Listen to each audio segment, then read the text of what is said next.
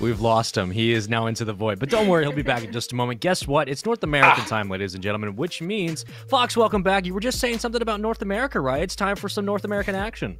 Yes, I'm back from the darkness. We got some more North American action unfolding for you tonight, and happens to be two of the baddest teams to do it. Wester facing off against the New York Subliners Academy roster. Two of the toughest teams competing right now in the Challenger Series for the Call of Duty for the Call of Duty Challenger Series, and I wanted to take a moment to get you get you two guys' thoughts on them. So we have uh, we have the New York Subliners Academy team match up against Wester and Space. Yep. I just kind of wanted to hear some of your insight on uh, the performance that we can expect from the New York Subliners Academy team. Uh, I mean, you look at this team in general, same thing with Wester. What don't they have? Uh, when the rosters got announced, again, one of the things I said yesterday was, where did Sib go? Sib was the one hmm. player on my eye from Atlanta FaZe Academy. But uh, also speaking to Phoenix, and I, I, talked to Sam for a while, and I said, what was the, makeup of this team? What were you thinking about? And a lot of it was like trying to counter Subliners Academy. Subliners Academy, you just look across the board. Glow Frosty, arguably one of the best ARs, amateur ARs in North America, arguably the world last season. Prolute and Saints together are a powerhouse duo in S&D, and you have Spark there as well, who who's him and Saints have had uh, time playing together before, but this entire roster, like Frosty, Prolute, Saints, and Spark, uh, it is it is a stacked S and D team. It is an inc- incredibly competent hardpoint team, and in control, it's just a mixture of both. So uh, when you ask me, you know, what's the makeup of this team? What do they look like? Uh, I ask you, what can they not do? Because they can do everything. Right. It sounds like there are no missing parts right now in this matchup. On the opposite side, we have Wester. Um, Ali, I wanted to hear your thoughts as to how they stack up against this team. Uh, honestly, it's such a top up, toss up between both these teams. Wester is just so dominant at respawns, and I feel like New York's only chance would really be to kind of take over in S and Ds and hopefully catch them off their feet a little bit to be Fox. But I am super excited to get into this match. Yep, should be an exciting one ahead of us. The New York Subliners Academy facing off against Wester. But for the moment, we're going to take a look at the standings so we can see how the action's unfolding. Our standings, of course, is going to be our upcoming matchup with the two teams at the top, Subliners Academy and Wester. 5-0, 4-0 records. These guys have been dominant the lowest amount of maps dropped out of everyone competing thus far. Of course, surrounding it out at the bottom, we got some teams being relegated. Mid maps, Maki Maki. Um, it's been an exciting match. It's been an exciting few weeks so far for the North American region. Uh, so I wanted to say, what are your, some of your biggest takeaways of the competition that we've seen in the North American region so far? We've gotten to jump back and forth between both Europe and North America, and I- I'm sure you can point out some kind of differences here so far. So, Ali, what are your thoughts? Um, personally, I feel like the Maki Maki disappointment has been kind of a shock to me.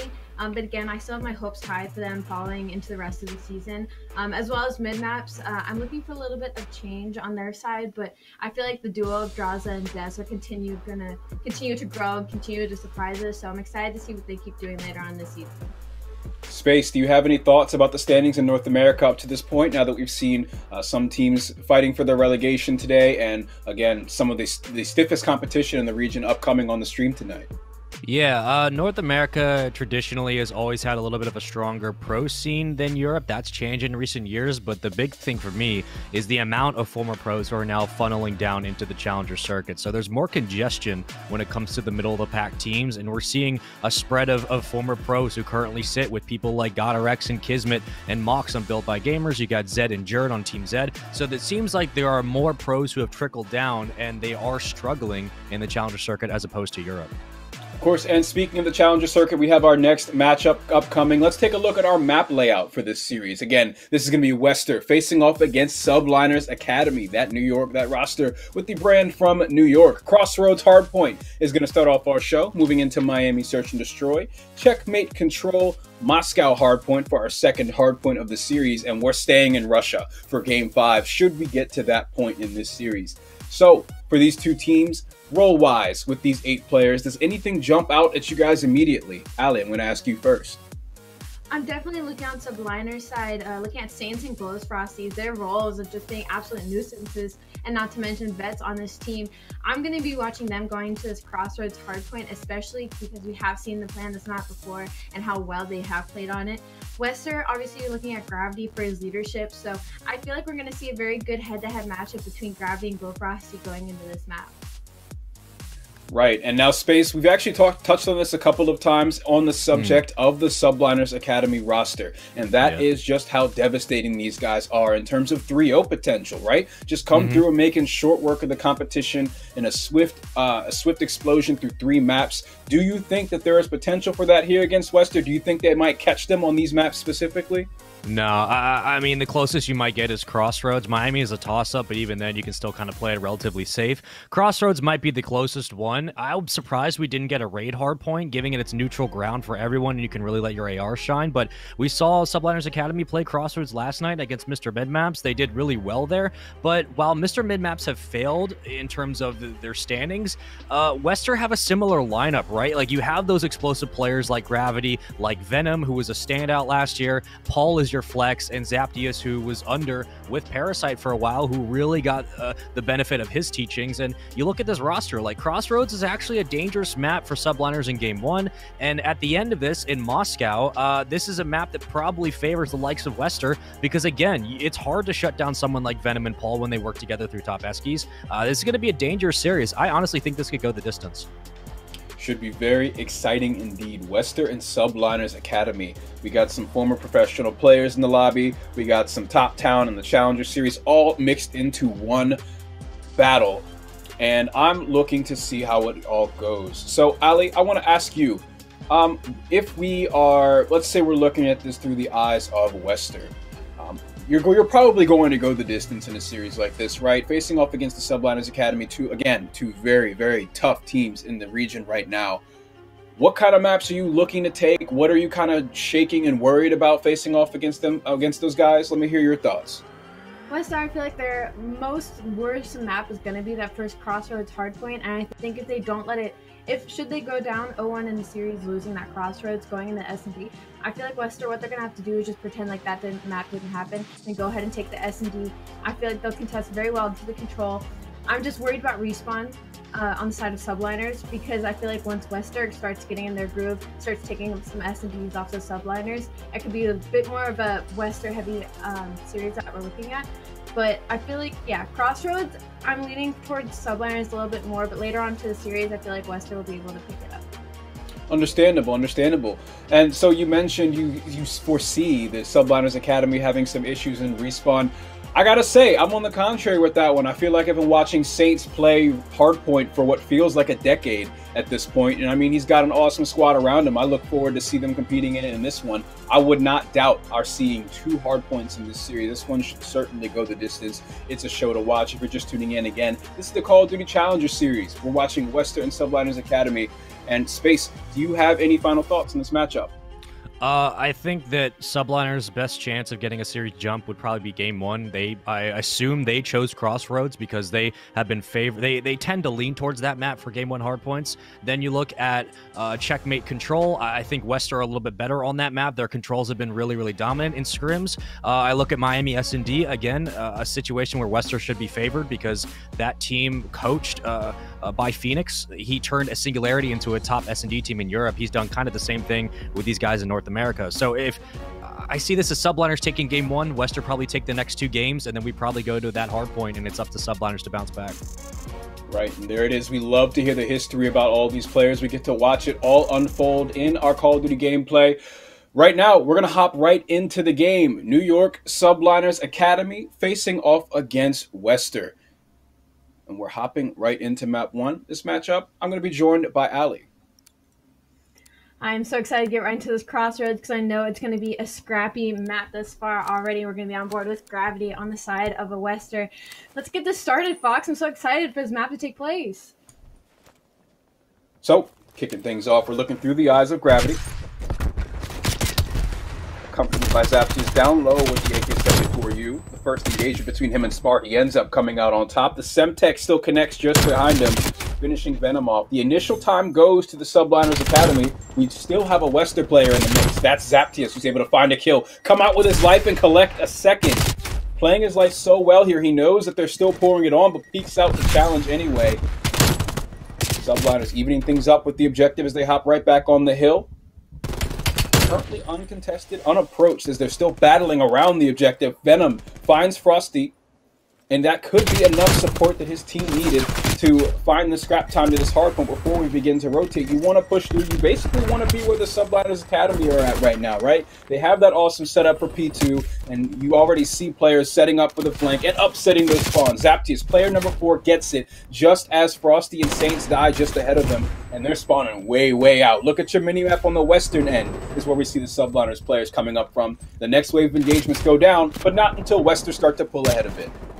P1 very scrappy indeed. Not too much time going to either side, but Wester ended out on top as they did end up flipping out subliners from this spawn. Now, a little bit of a comfy, comfy lead here on the side of Wester. Venom is three, six, and three, excuse me, and they have held this for a good 30 seconds already. Need to pick it up here as they can't lose spawns as well. So I'm going to be paying attention to number one on my map. That's going to be Gravity. He's going to try and make his way through P1. He's going to try and catch Saints in back, but Saints catches two on P1. Huge kills out of him, but unfortunately for subliners, Wester end up flipping out to get favorable spawns for next as well. This is looking very scary for Subliners Academy. Big double kill right there, but there's still one remaining Wester player. They finally fish him out, and they should get the scrap time here. However, that does set up Wester for the initial time on the new hardpoint, and this one's so difficult to break. You're in this cozy room with with with these small entrance ways. I, I think we're going to see players try and funnel in all along from the side where P1 was, but it's so tough to get through. You're going to have players pre-aimed and ready. Polu opening up with a double kill regardless, an explosive entry into the hardpoint as he finds his third and stays alive. Spawn still in favor of Western. They're close to the action. They're going to follow it up for sure. But the subliners, they keep pouring it on. The pressure's adding up. Beautiful breakout of subliners. Unfortunately, Zaptius was left all on his lonesome in that hill. But of course, Wester answers right back as they flood in as the trades go out. Wester once again in control of the fire hardpoint. And not to mention that they still have spawns in the back for next. But subliners still trying to put up a fight right now. You can see how slow they're playing. They don't know about the player spawning behind them yet, though. They're going to try and get the spawns. Number seven on your minimap. Spawns going to try and catch Zaptius from the back. He gets him. And it spawns now in favor of subliners. This is a huge but Wester trying to have something say about it, but Spartan Saint says, no thank you, see you across the map. Now, Western needs to play this very slow. This is a very difficult hill to break. Looks like they're going to try to make the push from P1. Unfortunately, a couple of them get taken down, but you can see the blue arrows on your map slowly closing in. They're making it up to Rock. If they can get this kill onto Saints and Prologue, they can split spawns out once again, but they're not letting him. Number four, that's Zaptius. Zaptius gets the kill. They should start spawning out, but he gets taken down with the hill going in favor of Wester, but this is tied game close 72 to 72, neck and neck, just as we expected. So you got to respect subliners in the beginning of this hill. They were able to play well inside of a split spawn, getting hit from both sides. They maintained spawns for this hard point. The one player that was able to get behind them and do a lot of damage, that's Zaptius at 14 and 8. They kill him just when it matters, and they keep, they maintain their spawns for P4. Of course, we do see some time go over to Wester thanks to Gravity with a triple kill right there. But still, subliners were able to pull themselves ahead by just a few seconds. Rotating back to the top of the list, we're here at P1, and Wester look, look poised to take point. Pay attention to Zaptius on your minimap. He is just holding down that mid lane. This should be a lot of time going the side of Wester if they play this properly, but Gravity left alone a hill by himself with an XM4. He's to get tagged up. He has help in the back from Paul, and he does straight go through, but now nobody is in hill. But that is three down for Subliners Academy. A good hold out of Wester so far. Sparthos making some noise in the middle, but he will end up getting traded out. Absolutely fantastic trades going outside of Wester. They're just not giving Subliners any headway, but again, they're only still five point lead team try give any sort of leeway, but that is three members of Subliners down once again. Spawn still in favor of Weststar. Doesn't look like we're seeing anybody from Subliners trying to go to rotation just yet. Still slowly trying to make his way behind Venom, and he's going to tag him up. Gravity goes up, but he gets both of them. Suddenly, Saints behind enemy lines trying to set up for next. He's going to try and get Paul in the bag of Paul knows he's there, and Paul wins the gunfight. Absolutely fantastic two-piece out of Paul to turn and burn on the Saints. Wester looking fantastic. Paul, the flex player, certainly letting his presence be known with that XM4. He's been holding it down the past 120 seconds on the map and those back spawns that they needed for P2. However, that's all been disrupted. As you can see, three of the four Subliners Academy players are pouring through straight into the line of sight of Venom, who's able to tag up and finish off two on his own. Of course, we got support all around the objective as they're able to collectively clear out the Subliners infestation still ahead by about 50 seconds. It has been a great minute or so of Call of Duty from Wester as a collective unit. See Wester give up this 20 seconds here and start working on rotation. It looks like we're going to slowly start seeing that coming out of them on P1, but Subliner's still trying to hit this last 20 seconds. That's going to be Saints trying to contest it just for a little bit. I almost wish he back up just in case he decides to spawn out any of the Wester players, but looks like they're safe for now, so we got Subliner set up for next, but they need to get this whole 60 if they want to hopefully get back into the. So, rotating to the new hard point. This one's a tough one to break. But two still sat around P1. The rest of the team still coming up off spawn. They got some players cutting them off on the rotation, which should stagger the play just a little bit. And you can see 15 seconds uncontested so far for Subliners Academy. It is, of course, going to be represented in the score. They still have yet to get to a true first wave of engagements, and Frosty pumping the brakes on him just a little bit there with the opening double kill. Again, forcing Wester to play off their back foot. The remaining players are outnumbered and have to wait for support, but they're spawning up so damn far away on the map. Even Paul with his double kill. It might not be enough unless he's able to get support from third. Venom comes through with the submachine gun. That's the kind of support they needed, and it bought them enough time to get to the objective. This could be a turnover here in favor of Wester, but keep in mind they need those back spawns. They have to keep flooding through and succeed on the on the gunfights in the back. That was a beautiful holdout of subliners, but they started to back up Brunu just a little bit too early, which allowed Western to get that half step onto the old hill and get that contest time. And number four, that's Zaptius. He's on top of the hill. He's just waiting for his teammates. He could just start killing people right now if he wanted to, but he will get kicked out. But again, this is starting to get a little scrappy. Number three, that's going to be Venom. He's going to try and hop rock here, maybe disrupt spawns just a little bit as he waits for his teammates. Seems that Prolent may got a little bit of a whiff of him, and not yet Venom. He's pushed up on Rock. He's waiting for his teammates. This is looking like it's all for Wester as they're going to start spawning them out so deep. And number six, that's on Subliners. That's Prolent. He's across the map, but they still have yet to get Subliners out of the hill. What was a 50-point lead has now dwindled slightly because they were not able to break P4 fast enough. You really got to give it to Venom right there. That flank unfolded beautifully. He was able to clear out Subliners players, acting as a thorn in their side and allowing the remainder of Wester to pour through and collect this scrap time. They're up by about 30 seconds as we rotate to the next hard point. Right up top, P1, player 7, player 5, that's Spart and Saints will be the closest ones to the objective. Of course, we got to have that alley control. Saints finding that first kill is a good way to do it, but Venom at a distance is there to follow it up. Nobody's safe on the hard point as long as he's alive. They fish him out and shut him down. Spart with a double kill, but the action is back to unfolding on the objective as teams are flooding for control. Wester committed a little bit too much to that final break. They are now lost on not have P1 control just yet, but they do have a comfy 20 point lead right now, so they do have a little bit of Zappy alone and he'll just take him down. Subliner is really starting to heat up here. I was gonna say, you know, Gold Frosty, we need to see the Frosty that we saw yesterday, and it looks like he's starting to warm up now. Back and forth, it's a real battle. Wester in control, the hard point up by 20 seconds. We got Glow Frosty right around the corner doing some damage. Subliners Academy also has access to good spawns for P2 here. So keep in mind to, as to what Spark does, holding in holding in the back alongside Saints. That flank is wide open unless someone turns to cover it. Paul could certainly execute on it. Looks like he's going to do just that. I'm unsure of whether or not he was spotted by Prolute there.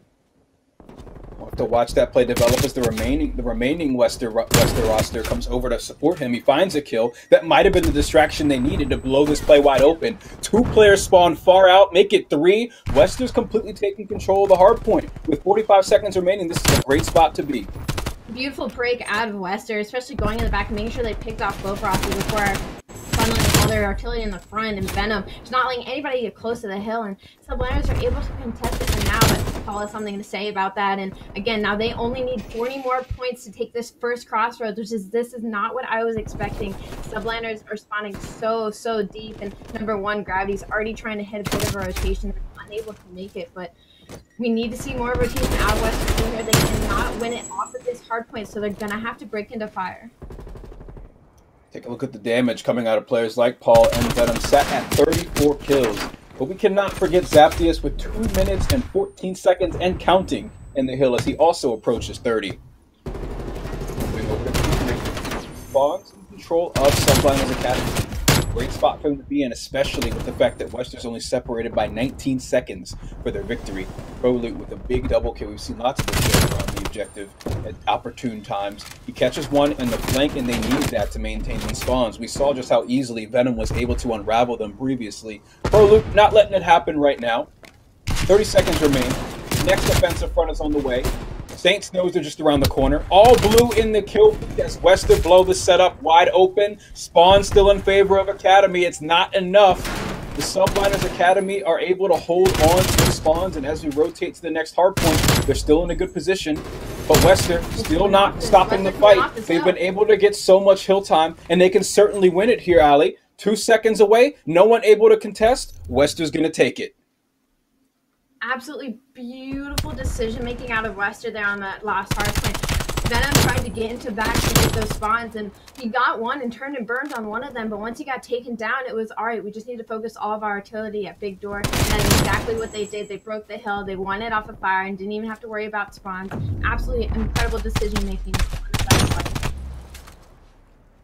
Yes, and again, we're all day long. We've seen high intensity gameplay, high engagement games on hardpoint. We're and certainly like, seeing we're certainly seeing excellent competition so far in the Challenger Series. Ali, do you have any takeaways from that matchup?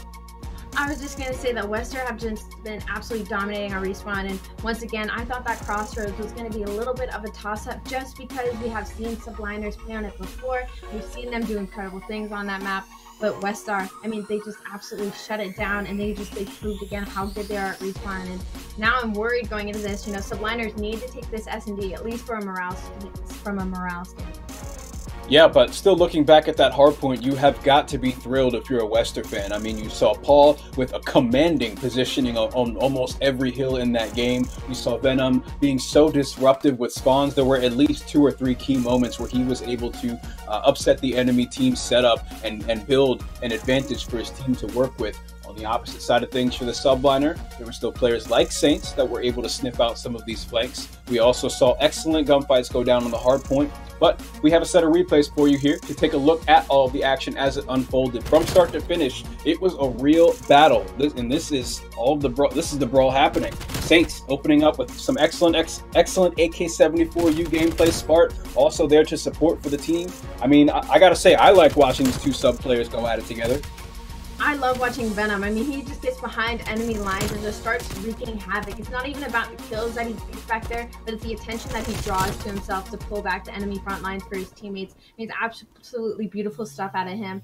I know we saw a little bit of a slow start from Glowfrosty and a slow start from ProLoot, so hopefully in the later series you start seeing them begin to heat up because this is not the Subliners Academy that I feel like we've watched beforehand. ProLoot going 16 and 25, Glowfrosty even across the board. You know, I'm expecting to see a little bit more going out of them later that's right.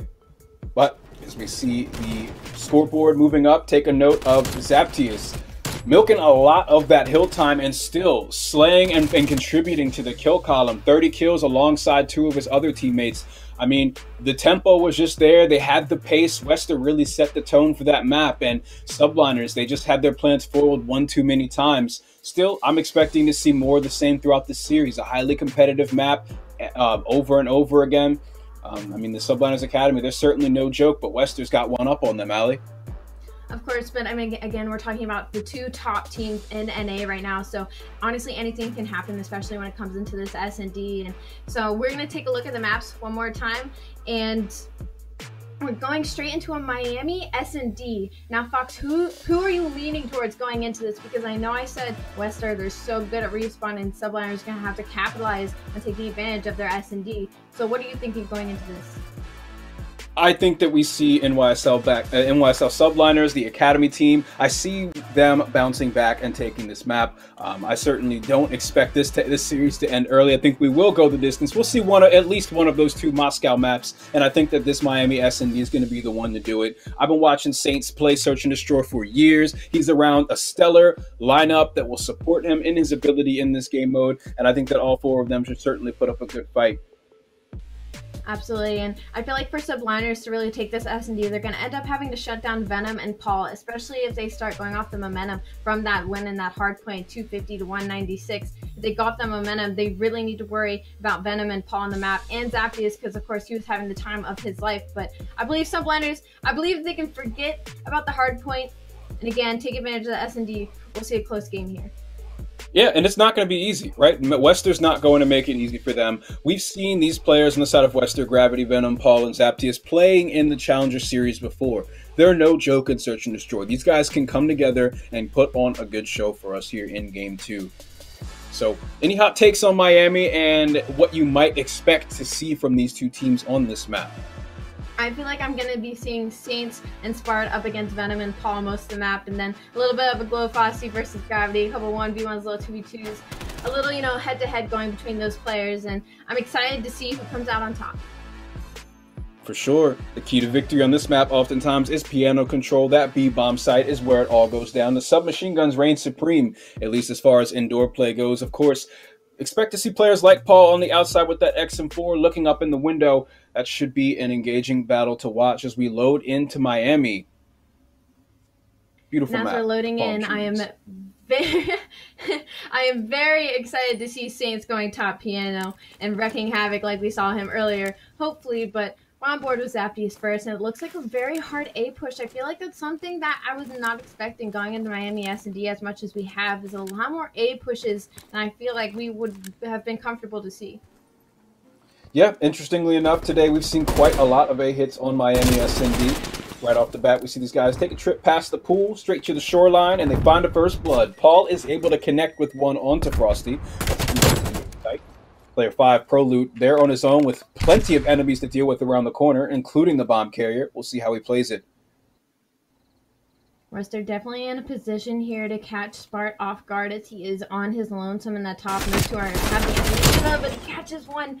Able to catch Gravity? Ooh, got him right off the heady. You cannot let Spart take both of you down in that situation. 1v2 Zaptius will get taken out down and subliners able to turn that situation around. First blood went onto the side of Wester. I thought they were starting to collapse on the A side, and it was all over the exposure out of Spart here. We're going to watch this two piece one more time. Beautiful shots. Oh, for sure. Holding the defensive positioning, that chest high cover in the window. He connects with every bullet on two different players. He's got his team there to follow up on the final kill. And now we see Subliners Academy. They're going to get their opportunity to play on offense after Spart certainly turning things around for them in the previous round. They got first blooded and even working at that disadvantage, Pro Loot stayed in position and they held it down on the A site. They're going to take their talents over to the B bomb site, though, where they will be met with serious opposition. Three different players. Venom catches one off guard. There's the trade kill, but all hell might break loose here shortly as player four from Wester, that's Gravity, is able to put down shots from range. And now it's just Prolute in a one versus three, and he's shut down as well. This plan fell apart right from the get go, Ali. That's the second time we've seen that really forced put mid push out of Subliner. Martin Venom, right past them, was able to shoot a couple of them in the back and throw them a little bit off their game, but 1-1 now in the series, and we've yet to see somebody take an offensive, so I feel like that might be a bit of a deciding factor on this Miami Search and Destroy. As you said, on the offensive, it's going to be Wester's chance to do it. Gravity's on a two streak after finding two in that previous round. It looks like they're going to be taking their taking themselves over towards the A site where they will be met with at least two players on the side of Subliners Academy. We do have Paul looking out for them on middle map, also keeping a watchful eye on any sort of flank shenanigans that might be set up by 7 and 8 Saints and Spart of the Subliners Academy, but nothing coming just yet. Still looking to play for trades, look for that first pick along the shoreline there. No action unfolding just yet besides Gravity from downtown. He connects with a few shots on Spartan, doesn't find much. So, Ali, really both teams so far in this S&D playing it slow, feeling each other out. Another slow A push out of Wester. I wish they would have gone for that little wrap that looked like Bomb Zaptius almost decided to do, but some of the trades going the way of Wester. We are in a 3v2 now, so they do need to pick up Bomb and get that down as fast as possible. Saints able to pull out Paul from mid 28 seconds on the clock. Bomb is still down. Venom or Gravity need to make the stretch for it. Looks like Gravity stretch for it. And Saints we need to bomb down. No trade's gone out first. It is now 2v1. all up to Glow Frosty. Bomb's going down, but Wester do ends up catching him as he's going to get the peek. I was worried for a second. I was worried for a second because the bomb started to make its way towards A, and once they got the information that two of them were there, they almost looked like they made the decision to wrap, but they ended up committing to the A site and ended up working out in their favor in the end. Played the trays very well for sure and held down the site. We see Wester take the first offensive round win of this search and destroy, where they find themselves up 2-1 on this map. Just tuning in, Wester did take the hard point. It's a crossroads hard point. Lots of back and forth. I'm looking forward to seeing more of that in the Search and Destroy here. Two players on a three streak. That's Venom and Gravity. On the opposite side of things, Subliners Academy is going to have Pro Loot as their bomb carrier. Again, moving towards the A bomb site, leaving one behind. Behind that's Spart, looking out for the flank. It's And of course, working. we have the benefit of being able to see through walls, Ali. So we know that these three players from Academy could just, you know, hold, hold down the gas, go straight to the A site. But of course, they need to figure out where Wester is sat. They had one player originally, but the call, as an audible, seems to be sending some more players closer towards the A site as they didn't hear much at B.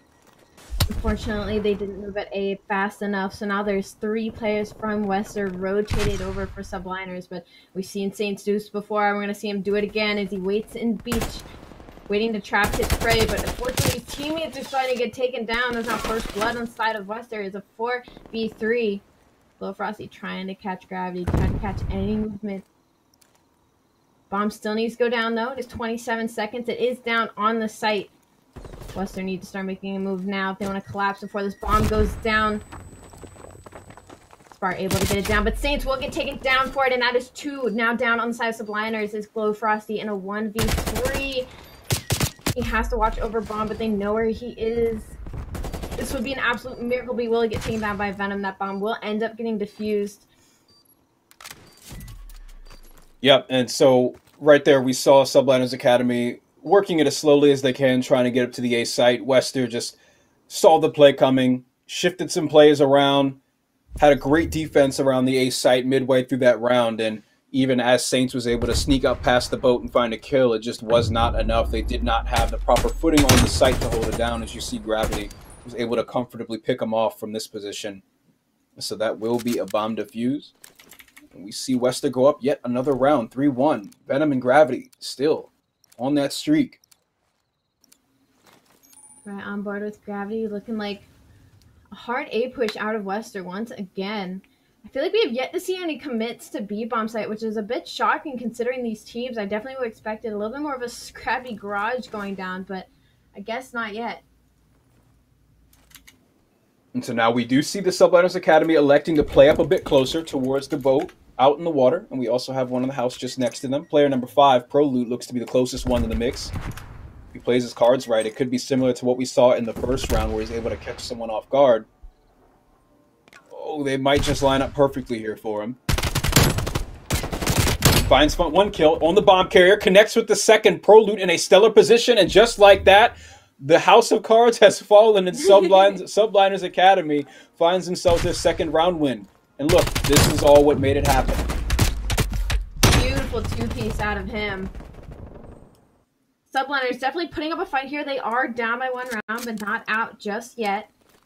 Gravity though, four and two. Venom five and three. Always a bad day to see your bomb carrier die first. That's some feels bad right there. It definitely puts you in a much tougher situation than you were before, Fox. Bomb, bomb being down, and having to pick it up again is never a good time. But on board with Prolude, looks like he's going to try and make his way top piano. Finally seeing a bit of a B commit here, but unfortunately three players Leicester are here, so this is going to be a little bit of a difficult push for them. Utility out. Trophy did get destroyed. Semtex just out of range of the trophy system, and no, so no protection for them and Piano. We do see Spart taken out by the headshot. So, Ali, we got Subliners Academy committed to the B site in the three versus four. This is going to be a tough one to take. Absolutely. Venom trying to catch some movement. It is still a 4v2 now. Subliners are down. 40 seconds on the clock. Column no Saints is up there. Saints has been wrecking havoc in top piano. Unfortunately, hasn't had any help from his teammates. The information is there. I'm shocked nobody from Wester started on rotation to try and get them both in the back, but 27 seconds. Saints need to go down anyway. That is an absolute wall bang out of Wester. Now four and two, Wester up. This is not that city I was expecting to get out of Wester. Honestly, I feel like the Blinders. I was definitely expecting to try and take advantage here, but Wester is just showing why they're one of the top teams in a, in NA. Certainly, I'm loving watching the methodical S&D play. We're seeing them kind of catch Subliners Academy off guard quite a few times. And, of course, taking full advantage of power positions with their ARs.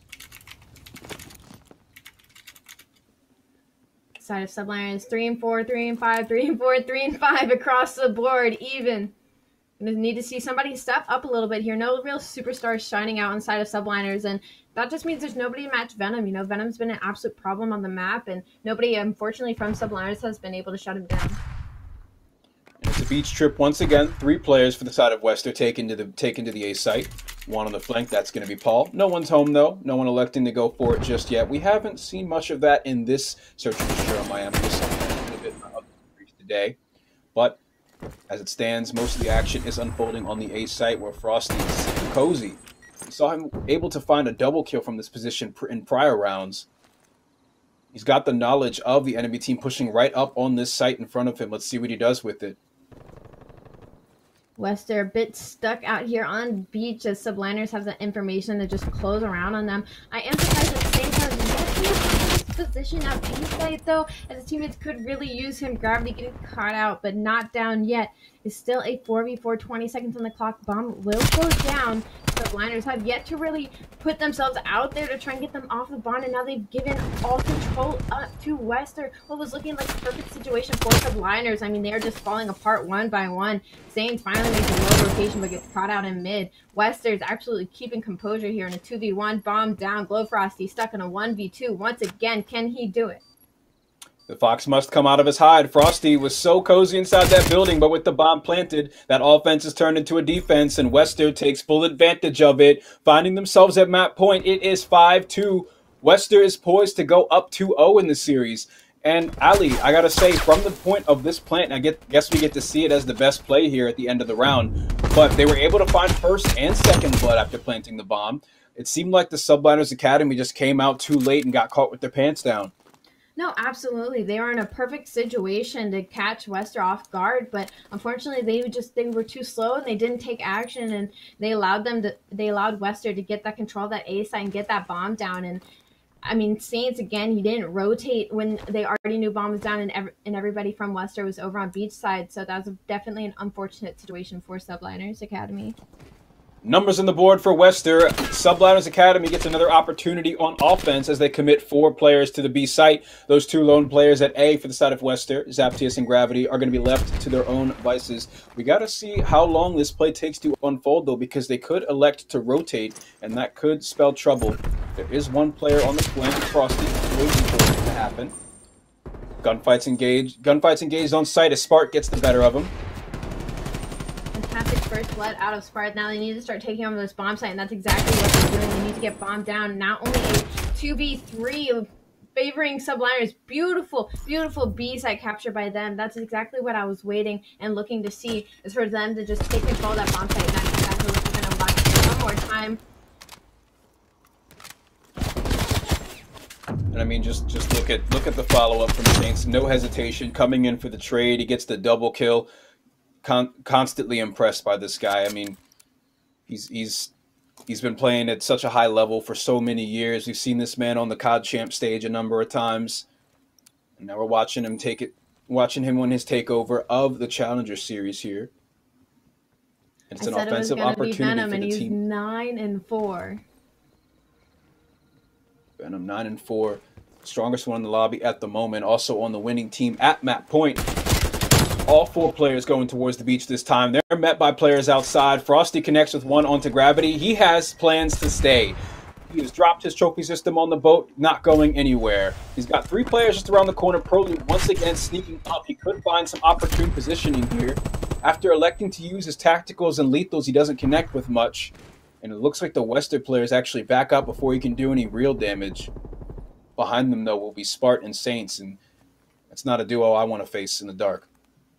3v4. I mean, you see the yellow arrows there surrounding Wester. I mean, one little sound, one little piece of information, they will be absolutely collapsed on And here we go. Glow Frosty starting to heat up. He will find Venom. Trades going out. It is now 2v3. Subliners. This is this is going down in the spawn. This is like the last place I would expect S&D to be going down. But Zaptius catches Prolu with his pants down and Paul catches Saints. But Subliners, this was supposed to be easy, but Wester not going down without a fight. Glowfrosty, it's all of you. Unfortunately, not able to win that gunfight. Again, Wester has just been able to turn the situation around and around again and again. We saw Frosty shows for his hill to die on the boat. Starts off the round there, finishes there as well. Unfortunately for him, it's a round win for Wester as they find their second map in the series. And what was an incredibly methodical search and destroy played out by both teams. We saw rotations and audibles being called. We saw excellent sneak plays, especially from players such as uh, such as Saints. And I think that overall it was just a very well S&D played on both sides, and Wester was able to close it out in the end, Ali. Absolutely. Wester has been playing fantastically. And I look on the side of subliners, and you know, I was looking at Glowfrosty to kind of heat up. You know, again, he started to heat up late in the crossroads, and I wanted him to come out hot when it came to the S and D. But once again, he started to heat up just a little too late, and he got stuck in a lot of you know one v two situations, unfortunately for him. And I mean, Wester, I mean, they get into such a tight position where they are just surrounded, they're down in lives, and they always somehow find a way to turn it around. I mean, it's been absolutely incredible to watch, Fox. Yeah, and it, it, for sure, we saw that for at least six rounds in that game. The rounds where it didn't work out so well, it was actually the Subliners Academy with players like Pro, with players like Prolude, set up on these very sneaky flanks, finding that first and second blood. I mean, we saw how he was able to be integral in a part of the round that ended in seconds. We got some replays here. We can actually take a look at how all of the action unfolded for both sides in this matchup. So what I'm expecting to see is a whole lot of Prolude, a whole lot of Saints maybe a little bit of Paul sprinkled in there. Is there anything that stood out to you in this map, Ali? Um, again, it's just the fact that Wester would always be in a situation where, you know, on textbook paper, I'd be like, no, there's just no way they're making out of this. But, you know, they end up, they always end up turning it around. I mean, especially Venom going 8 and 3 right now. I believe he ended like 10 and 3. I mean, he was a superstar on that map, you know, and I feel like on the side of Subliners, I didn't really see, you know, anybody really stepping up to the next level to match him.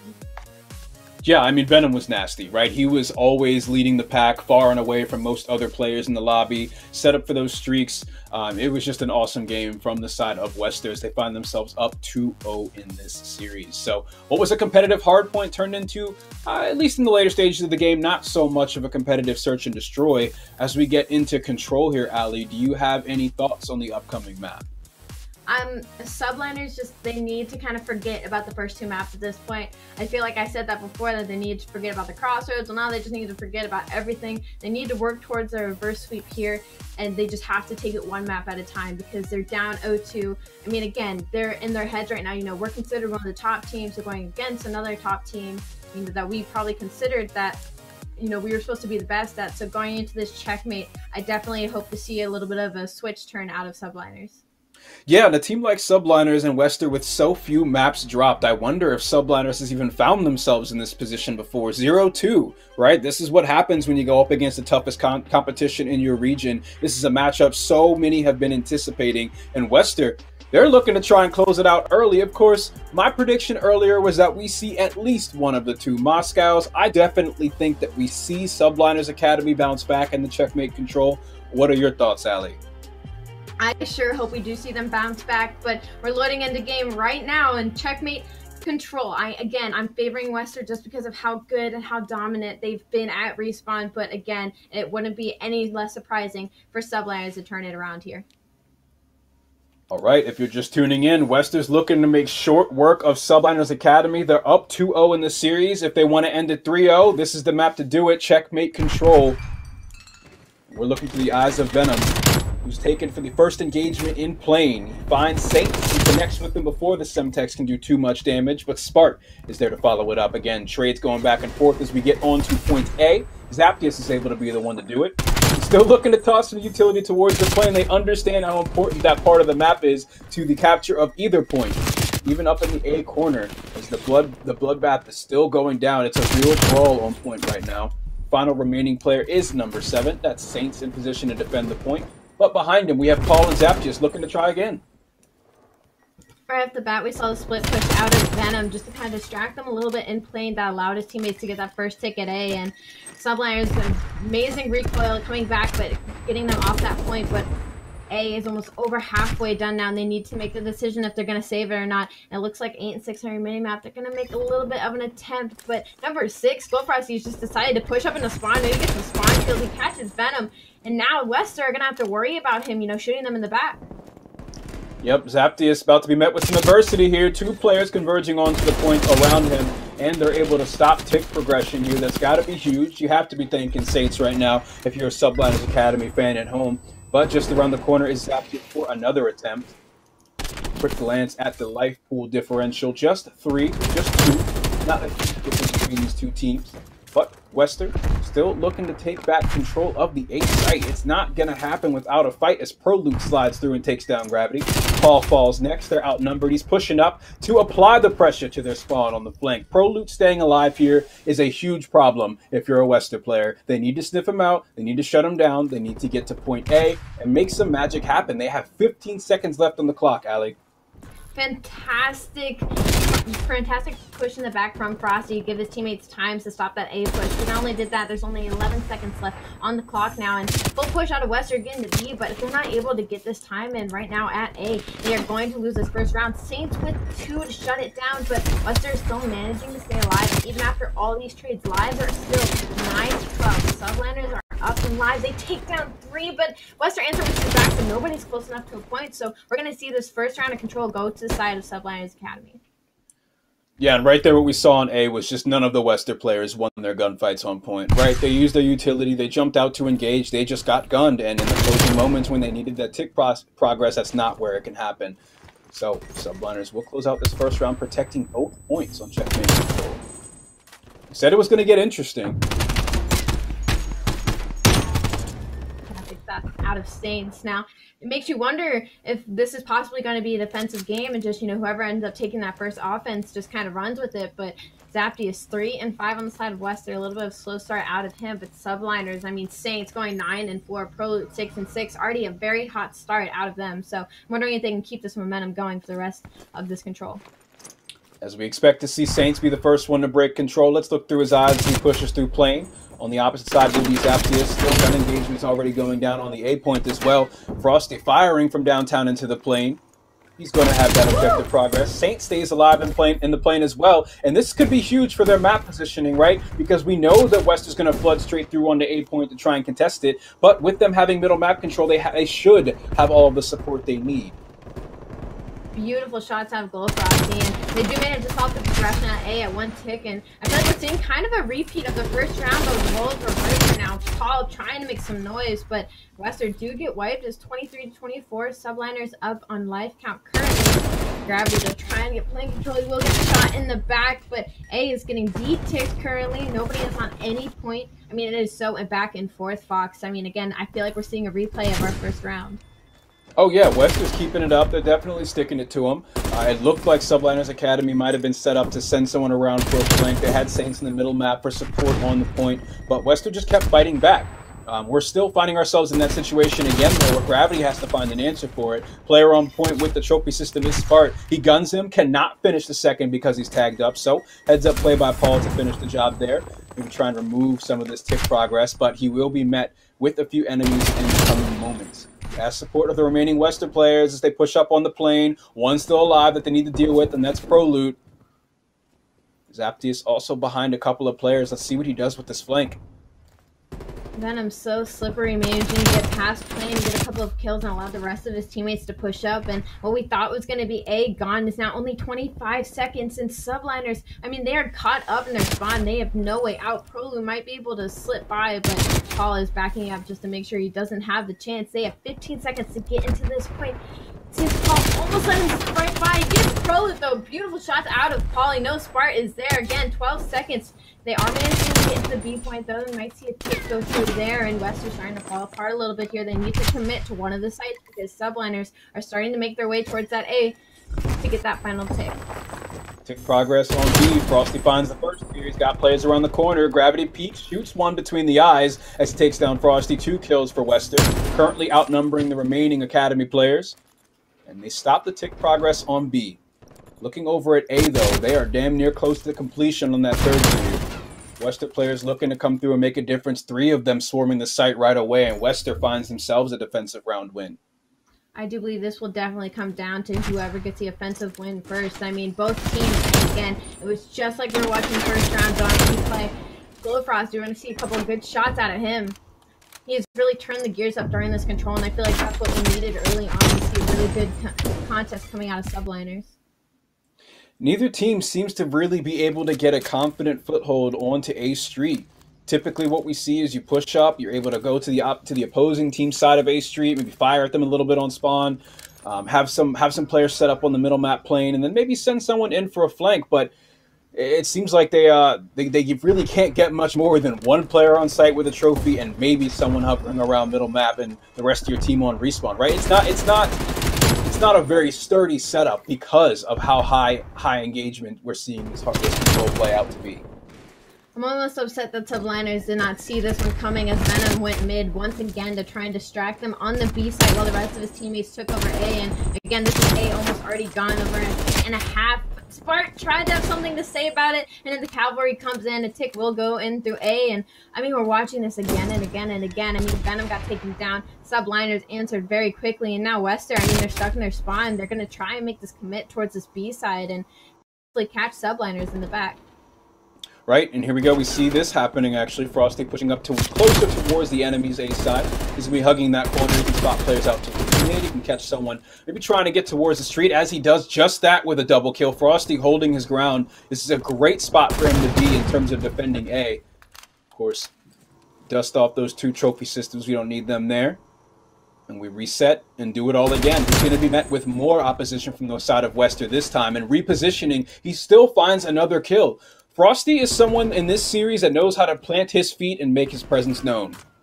Wester down almost 10 lives now, and they need to commit to a bomb site. I mean, there's 17 seconds. They need to commit to either A or B. And oh, Glowfrosty just not letting a single person pass that cargo bin. Saints just chilling and playing here. He hasn't had to do too much, but now under him are three players on the side of Wester. They need to cap this point. They have 6.9 seconds. They behind them. They turn to get him, throws the nade out, but the trophy will shut him down. And now all of a sudden, this is turning towards the tide of Wester. I mean, subliners are all coming off spawn. A and B are both getting progressed. We're probably going to lose A here. Subliners, I mean, what was looking all their way? I mean, one wipe, and suddenly this is a different round. I didn't think they were going to topple the stone wall. I mean, Frosty was able to stay there and stay alive for so long. Took them a couple of attempts, but Wester just like that, they are able to turn the point over, awarding them another minute on the clock. Massive progress onto the B control point. You can see they're already halfway through tier three, not working away at their their 60 seconds awarded at all just yet. Prolute, once again, staying a nuisance in their face with the machine gun. He's going to be met with multiple Wester players. The team shot comes through. Paul with a double kill, collecting two for his own, and a great spot to do it too as his team looks to finish out the round here. Wester gets a point on the board. Venom was so huge there in the end. I don't know if you saw him just chilling on plain steps, but he just kept killing them off the spawn, and that forced two of Subliners players to kind of back up and look for him. And I mean, his teammates got the two kills in front, and boom, that was it. The B was gone, and never gave them the chance. I mean, huge play out of Venom for sure. I mean, you see the intensity when we're looking through the POV of someone like Paul, right? Him and Venom are clearly on the same page. He knows what they're obviously working off of wonderful communication. He's snapping and just shutting them down in an instant. Really, just Wester firing on all cylinders. Cylinders at this point. We got Venom on a four streak. We got Paul on a three streak. Coming off a spawn kill, and they got to feel pretty good as they move into this final round. The wall bang. He's able to stop Saints Playing control so far in favor of Wester. There's just one player to meet, and that's Spart, who came up top.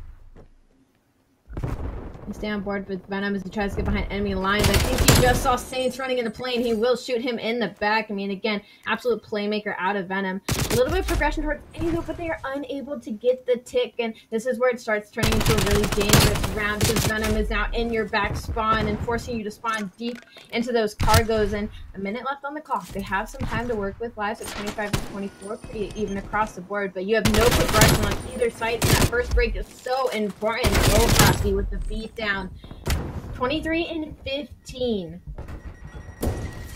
23 and 15, and Frosty gets through the A barrier. He gets stopped just as he gets on site by Semtex. Two kills for Wester as they set up defensively on both A and B. No one shall pass. Saints comes up on his own, no follow up.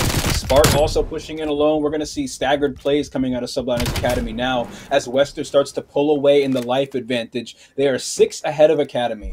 25 seconds remain on the clock. At this point, Wester is holding down and they can deliver Subliners Academy their first 3 loss. That absolutely insane. What a clean 3-0 it was. I mean, once they took that offensive, I mean, they were just spawn trapping subliners. There's nothing they can do. They can't get close to the point. Streaks are being called. I mean, absolutely beautiful gameplay out of Wester. Venom had the game of his life. Paul really turned it up there in control as well. Gravity, we saw him putting up some numbers. I mean, beautiful series out of Western. Wester came out fire and They really they kept the intensity all three maps, foot on the gas, and did not let up once. Paul, especially, I want to give him a big shout out, but I feel like everyone in the team got their time to shine. It was always someone's turn to set up for a blink, just hold a position and find a multi kill. Spaceman, you were watching it from the side there. What stood out to you? Why was Wester so successful in delivering a devastating 3 0 to the Subliners Academy? You guys remember that weird guy who said this was going to go the distance? I don't. That guy's weird. Uh, this was wild, right? I, I, don't know who we're talking about, but this was wild. Um, in game one, I, I was sitting, what, tweeted it out. I said, uh, subliners, they were struggling because, you know, Prolute couldn't help contribute to the slate column. Glowfrosty, when he popped off, they had control fire. Then you're looking at P4, which they struggled to hold. But a lot of it was gravity, and a lot of it was just the, the, the strength of the Wester lineup. Venom and Zaptius were absolutely contributing, and here's a look at the map layouts as well. And the S&D was just a one-handed show. Like, I, I, know it was back and forth for a while, but let's be honest. Wester were in full control the entire time. And then that was the closest in the control. That was the closest map we saw in this series. But even then, like, after games one and two, I, I, I texted one of the European commentators, and I was like, well, this is not how we expected it to go. and it's true, because the slaying from Wester, I it's not that we doubted them, or specifically, I will call myself out. It's not that I doubted their capabilities, but I said, look, their control looks good in scrims, their S&D always looks good, but I was worried about that map one. But aside from really uh, Prolute having a slow hard point and, and Spart having to carry a lot of that load, I mean, Wester just came out better, like all, all across the board on, on defense, on control, and their S and D on the routes the recognition of when to isolate players like Glowfrosty towards uh, towards the beach on top of the boat and being able to move in. Uh, again, it, even that control, right? The defensive rounds, you you miss it, you turn back in two seconds, and it's like 20 to 13 life count. And you're like, okay, uh, Wester are just the better team right now. They they just played every single game better in that series wasted no time they made short work. Ali, any takeaways from this series so far? For me personally, I saw Paul stand out. I haven't heard you guys speak too highly of him here. I'm curious to see what you think about the squad. I definitely saw Venom and Paul kind of as like the duo going into this. I definitely had high hopes for both of them. And I know in the recap, it definitely looks like a blowout. I mean, come on, six and three. I mean, three and one control. And I mean, the hard point 250 to 193. But as we were casting it and watching it, it didn't feel like a blowout, you know? And I hmm. feel like that that's a kind of a look up for subliners. They still have so much room to improve. And I'm sure this is a fire they're going to be needing to hopefully, you know, play Wester later on, you know, whenever that may be. But I do talk about, you know, the superstars of the series, and I'm looking at Venom just because I was watching him on the map, and as a player myself, some of the plays he was making, I mean, I'm sure production saw, I just had a huge smile on my face the whole time, Box. Certainly exciting stuff. We got more action for you here tonight for the Call of Duty Challenger series. Let's take a look at the schedule. As you can see, we just concluded with our matchup of Wester facing off against Subliners Academy and, it has certainly been an exciting one. Earlier today, we also saw Orbilis face off against the Tate Esports Rams, beating House Tarth. The Spanish team went all the way to Game 5, and this final match will be brought to you by Ali and Spaceman, mid maps and higher. You guys have any initial thoughts on this matchup for the NA region? Oh, uh, Mr. Midmaps again, a team that on paper should be top three in North America, arguably, but still are struggling to put it together. They grabbed their first series win yesterday, but uh, I look at higher and another another team that, in general, just in terms of composition, uh, Zinx mobile AR, just phenomenal talent all around. Uh, Exotic's kind of like the guiding underhand of this team. He has the veteran experience to be able to guide these young rookies. Uh, Proto there as well, right, and Mayhem. So like there there's a lot of flex talent on this squad, and they're and their subs can certainly light it up. But uh, it's you know uh, this is going to be an interesting one because Mr. Mid Maps there's so much to be desired with that squad, but they just they kind of struggle to put it together. I can hear the sadness in your voice. It's like talking to a disappointed father whenever you have to mention Mr. Big Maps. Ali, do you share a similar sentiment? A little bit. Um, when it comes to mid maps, especially when we watch them, I feel like I see such superstar moments out of them, and you just you get that glimmer of hope, but they're just never able to close it out. So I feel like hopefully, at least in this upcoming series, we start seeing them close out maps a little bit better, you know, and having those superstar moments throughout the entire thing. But I mean, higher Zinx, Exotic Proto, Mayhem. I mean, I feel like we're seeing the battle of the vets right now on the side mm. of mid maps with Drazah, Fellow Decimate, and Naga. And I'm just I'm excited to see these two go at it. It's a dramatic night. We're seeing the the uh, Subliners Academy get delivered their first 0-3 victory. We're going to cut to a quick break and come back with you for more action for the Call of Duty Challenger Series.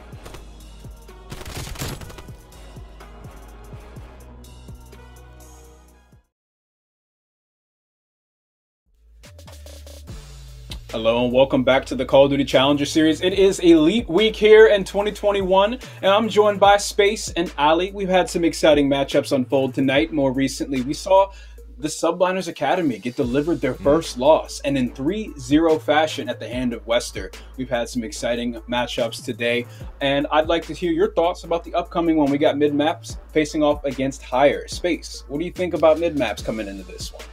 Oh my my fatherly disappointment. Now listen, the, Mr. Midmaps, There is a uh, there's a there is a solid top four team under this this the skin of this team, right? if we talk about like maybe like a marble that needs to be chiseled and worked on from all angles, and and underneath there is a solid piece of statue. That's the sentence. Uh, that's what I see this team being. They, they can eventually make their way towards the top four conversation, but there needs to be a change, like flat out. There just something's not working, and the problem is that there is too much talent on this team for this to be a problem, and you're running out of time for it to be a problem. So uh, this is actually an important matchup, right? Maybe standings wise, not so much, but this is a morale matchup. If you don't come out and play good Call of Duty, if you don't come out and show that you are a good team, at least on the surface, there needs to be a team change flat out. I know we're only into week two, but it's getting out of hand. Thank you, Space Spaceman. We got the caster, disappointed father, sculptor. What an incredible talent you are, Ali. What are your thoughts about their about their competition here as we load into the map? I could ramble on about how I'm excited to watch Des and Drazah play, but how about we just walk right into the map? Let's just see what's going down. We're gonna say bye to Fox. See you later, space. Ah, Are you ready it. for the fatherly disappointment yet again? Oh, I'm just ready. There's no pregame, so I don't have to say, "Oh, I'm so disappointed." Let's just get into the series, Ali. yeah, like, I just want actually want to talk about it. But listen, here's the interesting thing about Higher, right? And besides the way Wester being number one seed now because they 3-0 sweep their way through Subliners Academy, the standouts on Higher for me are Zinx and Exotic. Zinx is a mobile AR with great instincts, and he constantly finds himself in the top of the leaderboards, while Exotic, like I said earlier, is that steady bottom hand of this team. Experience for years, no massive event placements, but they constantly finding a good talent of young players, and he can build them up to be something special. I need everyone to contribute on the other side for Mr. Mid Maps. You just gotta slay. You gotta slay. Forget about the disappointment. Des and Drazah right off the bat just said, know, we don't even need our other teammates. Drazah 5 and 0 to start off this crossroads hardpoint. They have the spawns. They have the first time in the P1. I mean, already straight off the bat, Midmaps looking fantastic. A little bit of a slow start on the side of Higher. Mayhem going 0 and 3. Proto 0 and 3. Hopefully we see them start to warm up here soon, Space. You know, in the past couple of years, by past couple, I mean last year, because since the pandemic, it's felt like three years stacked on top of each other. But Drazah has exploded to becoming probably the number one. Yes, he was picked up, but number one prospect still for the future of the CDL. I think this kid should be a, at least on a, a, a sub spot for a pro team, if not a starting roster. He's an all-around phenomenal player. Then you look at Exotic on the other side, who's able to shut down two, now on a force spree of his own. Mayhem yet to find a kill-off spawn. But in general, Mr. Mid-Maps have all the talent in the world as we rotate now all the way over to Lower Annex for P2. You have Drazah, Nagafen, and Fellow, a amateur champion with Triumph Gaming, even had DiamondCon on that roster, now on Subliners Academy. Like, there is just, there's so many different teams or and players that can be fitted into this Mr. Maps roster. They have all the talent to get it done. Naga unfortunately falling following death to his own trophy, but somehow managing to get them spawned because of that. Again, Midmaps find themselves getting his last 12 seconds, which they have no business getting as Higher has the spawns for old, and they were all four stacked inside of it. But Higher need to start working on these rotations as once again they are late to slow up into this fire hill. Exotic though trying to have something to say about it. Already a really hot pick out of him. He's 11 minutes carrying the heavy backpack that is his team right now. The first one's inside the hill for higher. It will be Exotic and Proto. Proto will drop two in the kill feed for Mr. Mid Maps. One traded out, and the follow-up start to come in. The numbers quickly falling. Take that three in a row. Exotic on a six streak again. 15 and 6, one with 4, one with 6. That adds up to 10 so far, racking up kills left and right in about 23 seconds and counting in the hill. 52 to 49, still 30 to fight over, but we're looking at the munitions hardpoint ready to pop in about 30 or so seconds, and you have to have the entry kills to go with it. It's Draza and Decimate combining for 1 or 2. Nagafen will find himself inside the hardpoint at 2 and 7, and if he's running that AR, you need him to start stepping up in the slaying column to match the subs. I mean, that one-man army that was exotic, able to break that hill for his team, not only to put them back in the game, but did also give his team time to get back there and get those spawns. But mid-maps are answering right back. Unfortunately, 1v4 doesn't work out too well in Cold War as the spawns do go back into the favor of mid maps, and they're going to get this first couple of times. But Higher's only down 20 seconds. They can start slowing this down and start playing a little bit more around this hard point number seven on your map. That's exotic again, getting spawns for his team. I mean, he is doing it all, slaying objectives, spawns, you you name it. He's already got it on lock. 79 to 58 mid maps. So start from Jonathan, three and nine. Up a little bit at that, or just sit in the middle at this point. Fellow though, making his way through top fires, slipping past, they get them off spawn. it gets taken down though. Looks like this final 25 seconds are gonna go in the favor of Higher.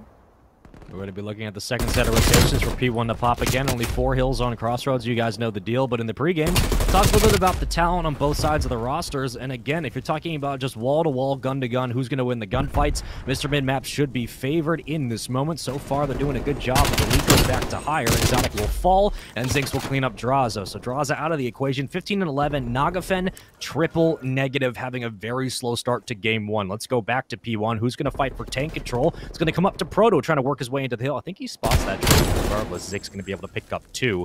And now you look at the opening time going the way of higher, still on board with Zinx. Looking for one player coming to Catwalk. It's going to be Fellow who's going to run into a couple of utility. We'll throw one out of his own. Tags up one, but no connection. So doesn't know that Zinx is roaming outside. And now we go back to Mayhem. Picking up one on the outside. Second player will drop in the in the hill, and Fellow picks up one. So trades go back and forth. Not a lot of great time for higher, but still they're gaining that lead. Midmaps unfortunately tried to make the gamble of going for the rotation rather than getting the first couple of seconds on P1, and they're definitely suffering for that a little bit as we do see a lead change on the side of higher, and Midmaps, so definitely trying to have something to say about that as the last 15 seconds will go their way, but now they're late on rotation, but somehow, some way, the team presence on that side of the map ended up flipping out higher. So now not only is the last couple of seconds going on side of mid maps, they also have the first couple seconds in New Hill. Number seven Iron Man map. That's exotic yet again. He has been a superstar. He has slipped behind enemy lines. He's taking down two. Can he take down the third? He can! That is three down exotic. Single-handedly breaking this position from mid map. We're gonna have to see them start to shut him down soon. This is the third time we've seen Exotic on a streak of three or more. So racking up kill after kill, right? 14 now on these streaks. A minute 10 in the hill. He's been single-handedly carrying this team through the hard point. Really the big reason why they hold this lead. 12 and 17 for Mayhem. Proto 11 and 12. Zinx 15 and 13 doing all that he can. On the other side, you need more from Nagaman. Can't say much more than that. Exotic with another 2P6 in a row. Can he find 7? He will not do so. Had not a lot left in the clip, but still almost looked like he was going to be able to pull that one up. Drazah combining with teammates there. They're going to get the hill time, 15 or so seconds to fight over. Scrap time going the way of Mr. Mid-Maps, never mind. And Zinx breaking his way through. Fellow does the exact same thing. 132 to 103. Let's look at rotation to fire. Who's going to be there first? It will be Proto and Zinx for a hire. They're going to be set up inside Mayhem with them, joining the fun. 59 seconds to go. Still so much time to fought over. The hill completely popped, and Exotic finds another kill. Exotic turning burning on Naga, and then also picking up Drazah as well. Spawning mid-map so deep on old. They need to slow this down and break in together from Big Door so they can hopefully get this last 40 seconds of time because should Higher get this, this is going to put an 80 under their belt, which is not what we expected to break off of this map. Naga just an 8 18 deaths, 14 and 20. Gonna need them to heat up here soon as everybody else on higher is starting to warm up. 16 and 14 on Proto, 17 15 on Zinx, Exotic, 30 and 14 already. 16 to maybe break 40 here going in this next hill. I mean, he has a minute and 30 seconds in hill time space, man. I mean, this is absolutely incredible. Well, Proto was far out on the hill off the start, and then once they started getting pushed inside and were losing numbers, Proto rotates off the play and grabs back spawn for higher, so now they can set up for munitions. What a smart play, thinking at least 30 seconds ahead, so if you lose numbers, you have a chance to rotate through and not really lose too much time. Luckily, you have teammates winning gunfights. Draws is going to rotate through the back and pick up the second kill. Nagafen finally getting involved in the kill feed. Fellow on the right side, hugging that close left angle. Drazah will drop. It's up to Fellow, 25 and 18, finding one. On the other side, picking up a second kill. Proto will fall, so what was an early setup for Higher has quickly fallen away, as Fellow has found three kills now on a six spree in a row, and they have set themselves up nicely for the new hill, and they've gathered about 20 seconds uncontested and unchallenged, and no one else from Higher has been able to make a dent what was a beautiful break out of mid map. Unfortunately, they pushed up a little too far and did not win any of their gunfights. So they ended up spawning across the map, and now this final 20 seconds is going the way of higher. Not to mention that they are now starting to get set up on P1 Hill. Just watching the spread right now on the minimap. Not a whole lot that's been too uncharacteristic for either side, but you are looking at starting to cross that 200 point mark. Just 10 seconds really needed. And that's a big win from Proto. Again, you're thinking about a couple of hills ahead. We're going to be looking at lower Annex when we pop for P2. Well, let's go to our third set of hills on our third rotation. Exotic will get cut down. Draza again in the kill feed. Dead even. 15 engagements. Hell of a thing to see. Nagafen trying to find a second. Will not do so. He will fall.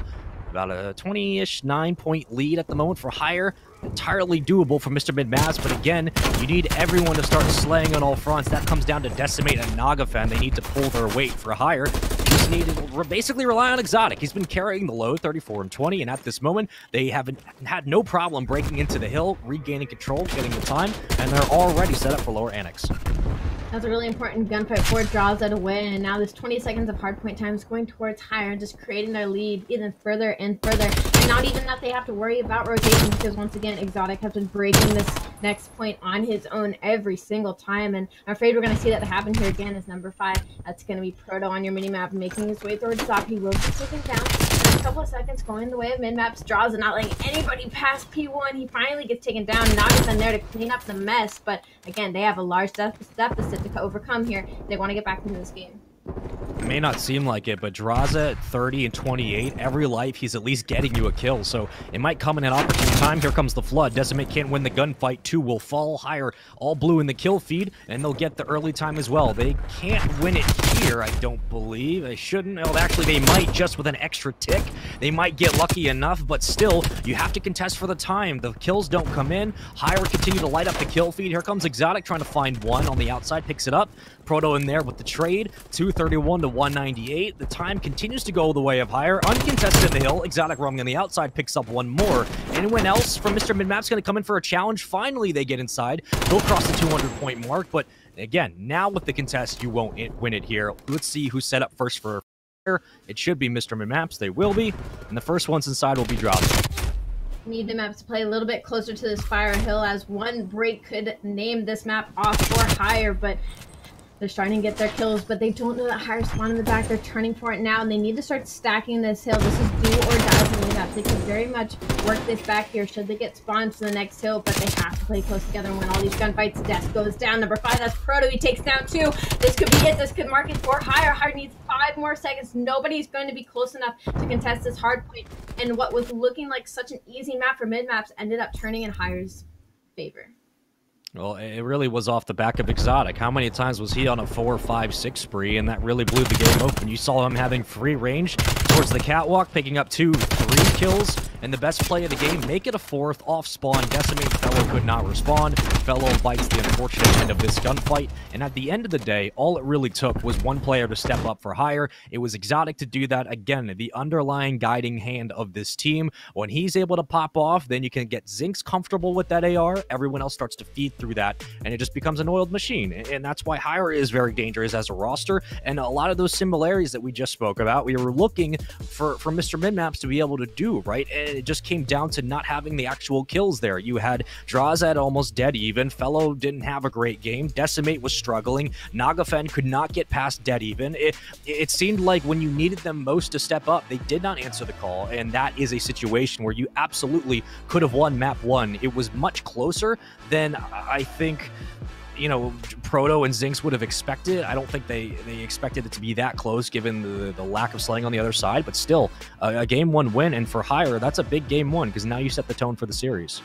No, absolutely, I completely agree with you. Exotic really put the rest of his teammates in the back in his back for the first half of that game and it just gave them all time to warm up because I believe at the end they all ended up pretty even across the board. And I believe at right. some point, some of them were triple negative. I mean, Exotic really just, he was the reason they were able to come back. Because, I mean, it's not like on the side of Midmaps they were doing that bad.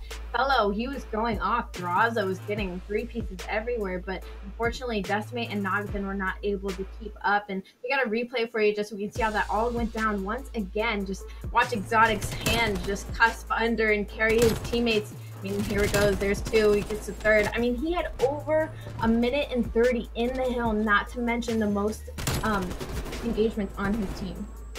And we don't like to harp on negativity, obviously, but you can't go throughout this first hard point without talking about it. Nagafen struggled. 4 in 12 was triple negative at one point for the majority of the game. You look at Decimate, didn't have a great second half to this hard point. Uh, a fellow 16 and 15, right? Usually he's the front slayer for this roster. And Drazah, he was keeping it dead even. He's giving you one kill per life at least, so you're guaranteed one trade, but they just couldn't really rally that into some positive time. And when you're just struggling to get three people, let alone all four, uh, together on the same page to slay out and control the hill, it's going to be difficult, especially on a map like Crossroads that requires so much out of your subs and for your ARs to constantly be on the roam. Uh, and that's where a map like Zinx can really thrive 25 and 27, right? Keeping yourself involved in the action. And now we look at game two. We look at the S&D and in a situation where, once again, um, this one is not over by any stretch of the imagination, but if your ARs are still struggling the way Mr. Midmaps have shown, I do kind of worry about the S&D. Let's take a look at the maps once again. Moscow, uh, where you can get a little bit cheeky with just running three subs. Don't see it often, but you can have a field day towards top Eskies if your subs are playing well. But I do worry, Ali, about the ARs, especially looking at a raid 3 hardpoint coming up after that. Uh, if the ARs are offline right now for Mr. Midmaps, how will that affect them in Moscow S&D? Usually looking at this map pool, you know, Moscow S and D, I would be leaning toward mid maps. But once again, I didn't see much out of Decimate as we've seen in the previous series. So I feel like Higher can really capitalize on that. I mean, coming hot off that 250 to 216 hardpoint exotic, we already know he's warm and ready to go. We saw Proto start coming up at the end, and I feel like this is suddenly going to get a lot scarier for mid maps going into this S and D, unless they can just kind of chalk the hardpoint and focus on winning their 1v1s. And if Exotic is playing this succinct, even in the hardpoint, chaotic as, as it may be, Crossroads, we all know the deal. Going into Moscow, again, you don't have to worry about him, right? He's going to give you what he's going to give you. He's going to be consistent. And I look at the rest of this team for higher, and when they're shooting on all cylinders, man, they, they're dangerous, right? They can take out a team like Mr. Midmaps. Yes, most teams have, but you look at the, the talent on the other side, like this is one of those old classic matchups you might have expected to see back in the old days of the Call of Duty League. So uh, the fact that, again, again, we see so many pros down here, and they're all trying to find the right rosters for them. Uh, while it, it, may not look pretty off the start, this is a good showing for Exotic. He, he's showing that he can still carry the team in the slaying column. And for someone like Zinx, who is known as a mobile AR, who's known to usually be at the top of the slaying leaderboard, uh, he doesn't have that much pressure on his shoulders. And now going into the S&D alley, uh, what are your predictions? What are you looking for? And, and do you think it's going to be as maybe one-sided as that hard point seemed to be at times? Honestly, I'm gonna say this with some good confidence. I feel like it's gonna be a little bit more one-sided now. I feel like losing okay. that first crossroads to mid maps was just might be too much of a blow. I feel like I might turn into a little bit of a blame game into comms because you know how players can get sometimes, especially when the sure. stats were looking the way that they were. I feel like Higher is really about to capitalize on that and just run with this S&D. I think if you want to set the tone for the series like you just did, especially off the back of Exotic's performance, you go into this S&D and you play the exact same way. Aggressive, calm, cool, collected. Just continue to do that on a map like Moscow, where opening up the bomb site could be very, very difficult. Once numbers start to drop, welcome to this year. When numbers drop, things get crazy. Uh, that's very much the scenario for Moscow. It can be difficult to retake this map as an offense, but uh, again, a, lot like Control, I think that it's going to come down to the offense. And, and for either side, whatever you want to talk about, who's able to control the site better, who gets the bomb down first? Do we see a different amount of rush plants? Um, I, I, have to be looking at it specifically for this S&D, Nagafen and Fellow together, right? Like when we watched Miami yesterday, Nagafen was running bomb a lot and Fellow was watching the mid-cross. Fellow got caught out a couple of times, but even then, he was able to punish back. I need to see Nagafen step it up. More importantly, I need to see game two. We're already loaded in. Let's get going, and I'm excited to see if Higher are going to go up 2-0 or if Mr. Midmaps are going to tie this up at one apiece. I'm excited to see if maybe we see a bit of a slang change here from the side of higher and see if maybe Exotic kind of steps back and see if we have any other players on the side of higher kind of step up to the plate during this Moscow S&D. You got to be looking at Mayhem, got to be looking at Proto. Interested to know what Zinx's going to be running. I'm assuming it's the XM4, but XM4 in hand for Fellow off the start. Again, Bomb Carrier, Nagafen, nothing too uncharacteristic. We all know the deal. Slow stalemate. No one crossing that 50-yard line. Closest might be Proto on the A site. Stuns come out, so Decimate gets tagged. Now we wrap back to mid-map. And we might be looking at a B call here as one player is out of position. That is Zinx on the statue at Main Street. If they cross through Metro, he will spot him. He'll do so. Fellow drops. First blood for higher. Usually such a tough bomb site to try and take over with the B site because should you wait just too long as we're watching unfold now, then Higher starts getting whiff of that and they can start making that rotation. You know, you get caught out on street and now you've left Draws all on his lonesome with the bomb and Des is just stuck in mid trying to get some information, but we're going to see rotation out of the side of mid maps higher, trying to go the long route and maybe shoot them in the back. I mean, 25 seconds bomb needs to down. Des needs to get the kill on Exotic. And of course, that's not going to happen after that hot streak. And Draws it now. Going to clean it up. But I mean, 1v2, 18 seconds to get that bomb down. We're going to be looking at a miracle here. And just as soon as you say that, he just drops. I mean, yep. what do you really do in that situation for Drazah? You pick up one kill, there's really nowhere else to run. You have 18 seconds one. So good retake from Exotic and, and company. Uh, you know, nothing too uncharacteristic off the start. Very slow start to this game, too. They get first blood. They rally that into a round one win. And I believe if we keep going back on offense with with Mr. Midmaps, if they're going to keep giving Nagafen the bomb, I'm interested to know how they're going to play him towards the site. Because A is more difficult.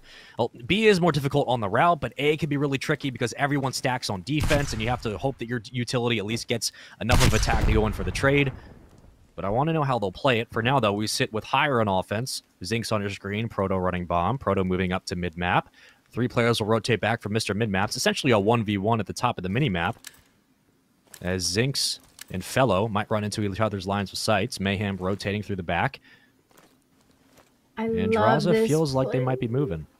I love this play off higher. They took the bomb through mid to A and they baited the entire team of mid maps over to B side. And now they have full control after Zinx gets that first pick on the fellow. I was worried that we were going to see another slow bomb push and get picked out, but I should have known better with the leadership of Exotic and Proto running through. They didn't even lay the bomb down. They didn't need to. Absolutely outslaying mid-maps right now. Beautiful plays out of them. Draw the second in a 1v4. Elevator's not the best place to be when the rest of the team knows you're there. Gonna try and maybe get a pick on bricks, but I mean, this is just hunting to prey at this point to make some slides, get some trades going through. None goes down higher, now standing 2 and 0 in the S&D. Drazah once again in an unfair situation. Not much you're going to really be able to do when you're out of position on the site and you got three players closing in on your location. 1v3 again. Higher doing a good job of grabbing first blood and continuing to put pressure onto the site, force Mr. Midmaps to adapt on the fly, which is not easy to do for any team. 4-0 for Mayhem.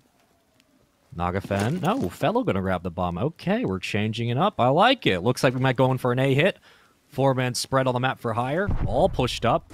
One near bank, one at mid. Draws are gonna roam through top Eskies. No one spotted. Here come the utility. Okay, Mayhem, you're dirty for that. Almost picks up first blood. Decimate entirely too weak for a challenge, but thinks about it anyway. Nakaman shuts down the attack from the back, and the flank will get cut. Zinx, top Eskies going for a challenge again, has to dip out a dodge. Numbers start to fall. Exotic picks up two kills in the process. Zinx picks up the third. It all falls apart, and Mr. Midmaps, after getting first blood, Fellow shuts down the flank, and Exotic finds a two-piece that completely changes the round.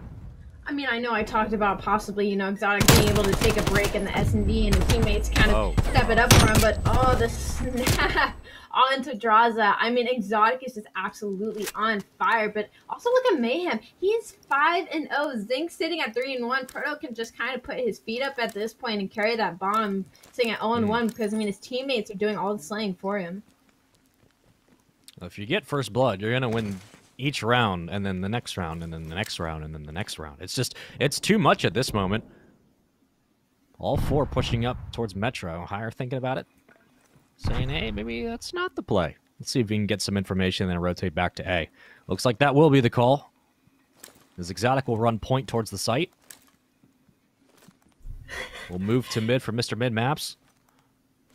You can just see the confusion on mid maps right now. They're like, hmm, are they coming to B or A? What is the they call? They fell for it once and they're about to fall for it again. They're going mid to maybe hopefully cut them out, but Bomb site is still in spawn. Unfortunately, Higher did not capitalize on that, catch them with their pants down in glass room. That is first blood on the side of Higher.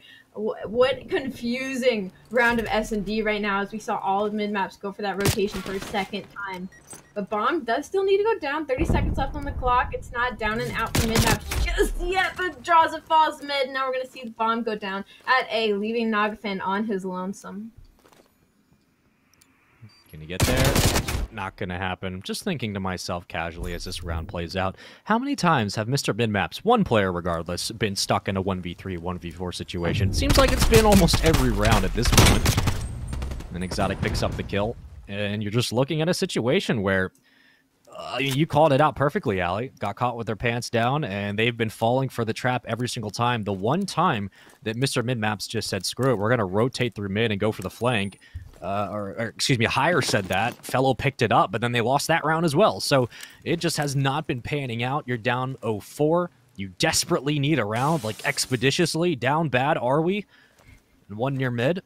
Drazah could find first blood if he peeks the right way. Proto might get it, though. He will do so. One more round. Here comes the challenge. Nowhere to run. Have to find a kill. Drazah will trade it out three on three. That was such a late trade, and now all of Higher knows that mid maps are stuck in mid. They're gonna try and push their way out of Eskies. Exotic though has his back turned to it. He's gonna get sandwiched uh -oh. between Mayhem and Exotic. Exotic finds one. He's gonna find the second. I mean, where are the trades coming down? He almost finds the third. What a quick collapse on the mid maps. I mean, they are just looking confused on the map right now, Spaceman. It's like herding gerbils into a lawnmower. I don't know what that means, but like, look at this. Where are they gonna go? They're just cutting them down. You have them moving all together through top eskies, no spacing, and at the end of the day, you could just corner them into a spot they can't retreat from. Mayhem has yet to die. Mayhem is still 6 and 0. Somebody stop this man. Death's though counterpart on the side of mid maps, unfortunately 0 and 5. Haven't seen him warm up too much today, unfortunately seem to be suffering consequences as they are down 0 5. Drazah, able to catch two of higher going through SE, but Zinx answers right back on two of his own. Come on, you were up 1v1 situation. Zinx versus Drazah, oh, excuse me, Zinx versus Naga. Naga 1 and 5 versus Zinx 8 and 1. Spaceman, I don't know where your money is going, but I think. God, they got first. Mr. Midmaps got first blood. I smiled. I'm like, oh my god, they actually did it. However, using the streak to ping. So he has to know that they're far back at A. Zinx bomb down. This is entirely doable as well for Nagafen. What a time to clutch up and get your second kill on this S&D. Nagafen playing it really, really well. But again, you're giving up a lot of map control, knowing the bomb is down. Will he get caught off? Zinx rotating behind might get perfect COD timing. This is the turnaround that you needed, Naga. No! Mm. He was facing the right way. He was pre-aiming it and still was unable to get the shots off. 6-0. Higher. Absolutely running through mid maps on this S&D. Well, if, if there was ever a map that just was not close, uh, that might be it. Uh, even in even in the round before that, where you had three members of mid maps moving up top Eskies together, which again is still risky because you're just bunching yourselves into a trap. Uh, Exotic picks you off from the back, two kills in a row. Like everyone collapsed from higher. Mr. Midmaps have nowhere to go. And the thing that's surprising for me, like it was a very clinical, clean S&D. What's surprising to me is, and again, this just might be a, hey, four individually talented players on a roster that just doesn't work at the moment. You have Drazah, Nagafen, and Fellow. Okay, Fellow and Nagafen together have so much experience just as a duo, but you have Drazah, Nagafen, and Fellow, right? And and this team with Decimate is is struggling in in the one game mode that you'd think they'd be really really good at. And I just I, I, just don't understand. Let's take a look at the, the replays from that S and D. It's essentially all higher, higher, right? I mean, I would be surprised if there was one if there was one actual replay that showed mid maps because they didn't get that many kills. I mean, they just they were not able to figure out any rhythm. They kept getting left in one v one v three, one v four situations, Ali. And am, am I am I being harsh? But for a team that's this stacked with S and D stars, they just don't look like they're playing S and D that well. I mean, it was mind blowing because they kept falling for the same tricks three times. Three times I watched mid-map's rotation onto that fake B push. And I mean, it was just unfortunate to watch. It was unfortunate to watch on the mini-map with like, oh god, don't fall for it again. You know what happened last time. Just send somebody mid, send somebody street, send them to get that mm. information and get the heck out of there. But unfortunately, we saw none of that out of mid-map. Well, uh, again, a lot for mid maps. This was a morale series, right? If, if, you're able to come in and show that you can play at least as a group of four together coherently, that's going to do a lot for this team. But at this moment, uh, in Hardpoint, they look they look they look like they can compete on talent alone. In S&D, they look at least for this series, they look absolutely lost. There is no other way to sugarcoat that. Now we go to Raid Control. You must win. There's no other question. You have to win this, or you're going to get 3-0 swept. For Higher, you have so much momentum on your side. You have just baited and perfectly tricked and played uh, Mr. Midmaps to a T so far. The the Hardpoint was a little bit closer, but Exotic is having a field day in the respawns. You go into raid control. You know, I'm just going to ask you, what what do what do higher how do higher approach this control? Um, are, you looking at a, a, just a different kind of composition, whether you're running like, you know, two XM4s, two AK-74Us? Are you looking at three subs, one AR? Uh, what are you thinking for higher as they look to close out the Series 3-0? For higher, for sure, they're definitely going to need a flex player to pull out an AR on this map because it is so much wider and more open than what we're used to when it comes to a map like Crossroads or Garrison. And I'm, I'm expecting higher to run with this. I'm expecting them to just run at mid maps. I'm expecting a 3 0. I'm expecting a shutdown. I'm just, I'm trying to be on the side of mid maps and I'm trying to call them. You know, they have their moments where they look like they're doing really well but I haven't sure. seen any of that in this series, unfortunately, yet today. So I think this is going to be an easy series for higher. Mm, well, let's get into game three. It is control on Raid, and here's the thing Raid's a little bit different than everything else. We've seen it for a decade, but it also can be unforgiving if you know how to play it. And that's going to be the question for Higher. How well do they play through, and how well do they play on offense off the opening point? Well, for Mr. Mid Maps, you need flawless defense, and you need flawless Call of Duty throughout the rest of the series. You have to reestablish some rhythm, regain your bearings, and win the war of attrition at mid map off the start. It's two kills in a row, make that a third for Mayhem. And for Higher, they're already on to B. Already a beautiful push out of higher onto the B side. I mean, that's a tick gone, about to be a tick and a half, possibly two. And Fellow getting behind enemy lines here, trying to maybe shoot a couple in the back. And it looked like Naga was gonna try and get a couple spawn kills, but you gotta kill, you gotta kill higher first to hopefully get any spawn kills. So it looks like we're well, gonna lose B, B here as they have completely given up on the B side and going completely spawn kills, but Naga does get taken out. And so, I mean, they invested so much and came out with so little. Well, the good thing for Higher is that you have two minutes to work with. You get B so quickly. Now, again, it's just about retaking mid-map, getting out of spawn and moving to A. From Mr. Mid-Maps on the other side, Decimate needs to find his first kill. Fellow needs to start heating up. Nagafen 3 and 2 having a good start to this control. 23 to 22. Life differential not too detrimental for any side, but at this moment, we slow things down in the kitchen. Decimate on your screen. Can he find his first kill? Doesn't look like he's going to be able to do so. He'll get cut down. Nade was there for the free check, and Drazah survives this gunfight somehow. Nades fly out. Drazah's still alive. Proto on your screen and completely tagged up. Guardian Angel is Zinx. And here comes the collapse onto A. Nagafen is the last alive inside the point. He's going to get shut down. Exotic reads that perfectly, and they're going to work on this first progress absolutely incredible out of higher. I mean, they just set up camp in mid-map spawn just to force them to kind of relocate themselves and try to sniff them out. And a good wipe from Mr. Midmaps is something we never saw coming. 16 to 18 lives. Higher now freshly off spawn, but again, they have a minute and 20 seconds to work with. Still trying to get a couple spawn kills. Hopefully he does get tagged up, unfortunately. Number five on your mini map is going to be Fellow trying to long route. I don't exactly know what he's doing quite yet. I guess he's trying to see if anybody tries to go a long route to get behind them and shoot them in the back, but he doesn't seem to find anybody. But kill suddenly starting to go the way of mid-maps Exotic does, doing what Exotic does in the point. No cap yet on any of the A ticks. They still have a minute to work with catching follow mid, and he'll start to get the progression going as he's waiting for the cavalry. He gets Drazah too. All of a sudden, all the kills going the way of higher six and three. Zinx turning it up for this control. It was a life lead for higher, now no longer. It's funny how raid works, isn't it? Second progression comes through. They're going to cap it. Drazah last, last alive. He'll get shut down, but they will still get the progression halfway through about number three. At this moment, 50% there. Make that about 60. Continuing his proto. Decimate shuts down one. Exotic will take out Fellow. Zinx from behind. Doesn't even matter. Higher get onto the point. They waste no time. Spare no expense. 1-0 lead in game three. Definitely, I saw a little hope there when I got that full wipe from mid-maps, but again, Higher answered right back. We're gonna watch Zing still draws again with a heady, beautiful shots out of him. Looks like he gets another here. He's gonna hop up, look at Pillars, fellow beamed out of mid. I mean, Higher just are looking like the better team.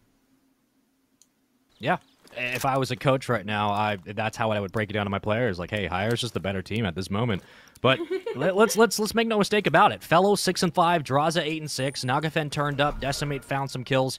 Uh, Fellow at one point was like seven and two. Like or excuse me, six and like three, six and two, something like that. Like they're starting to heat up, and that's the important thing to remember is that all it takes is one one flurry of kills, one spur of the moment action for both these teams, and they could walk away with a win in this map. Everyone on the point for the moment, A being locked down.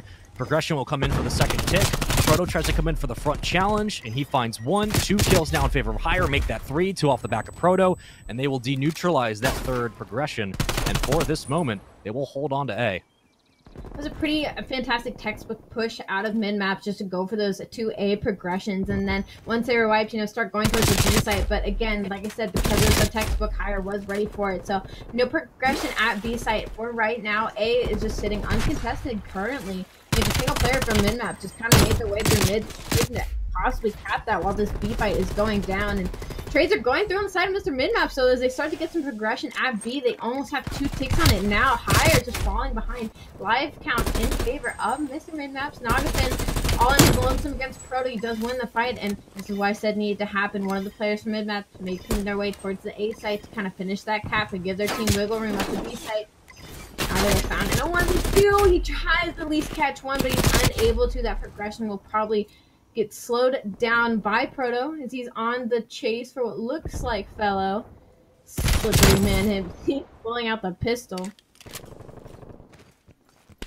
Slowing it down, certainly are we. Mr. Midmaps, again, trying to move their way to both sites.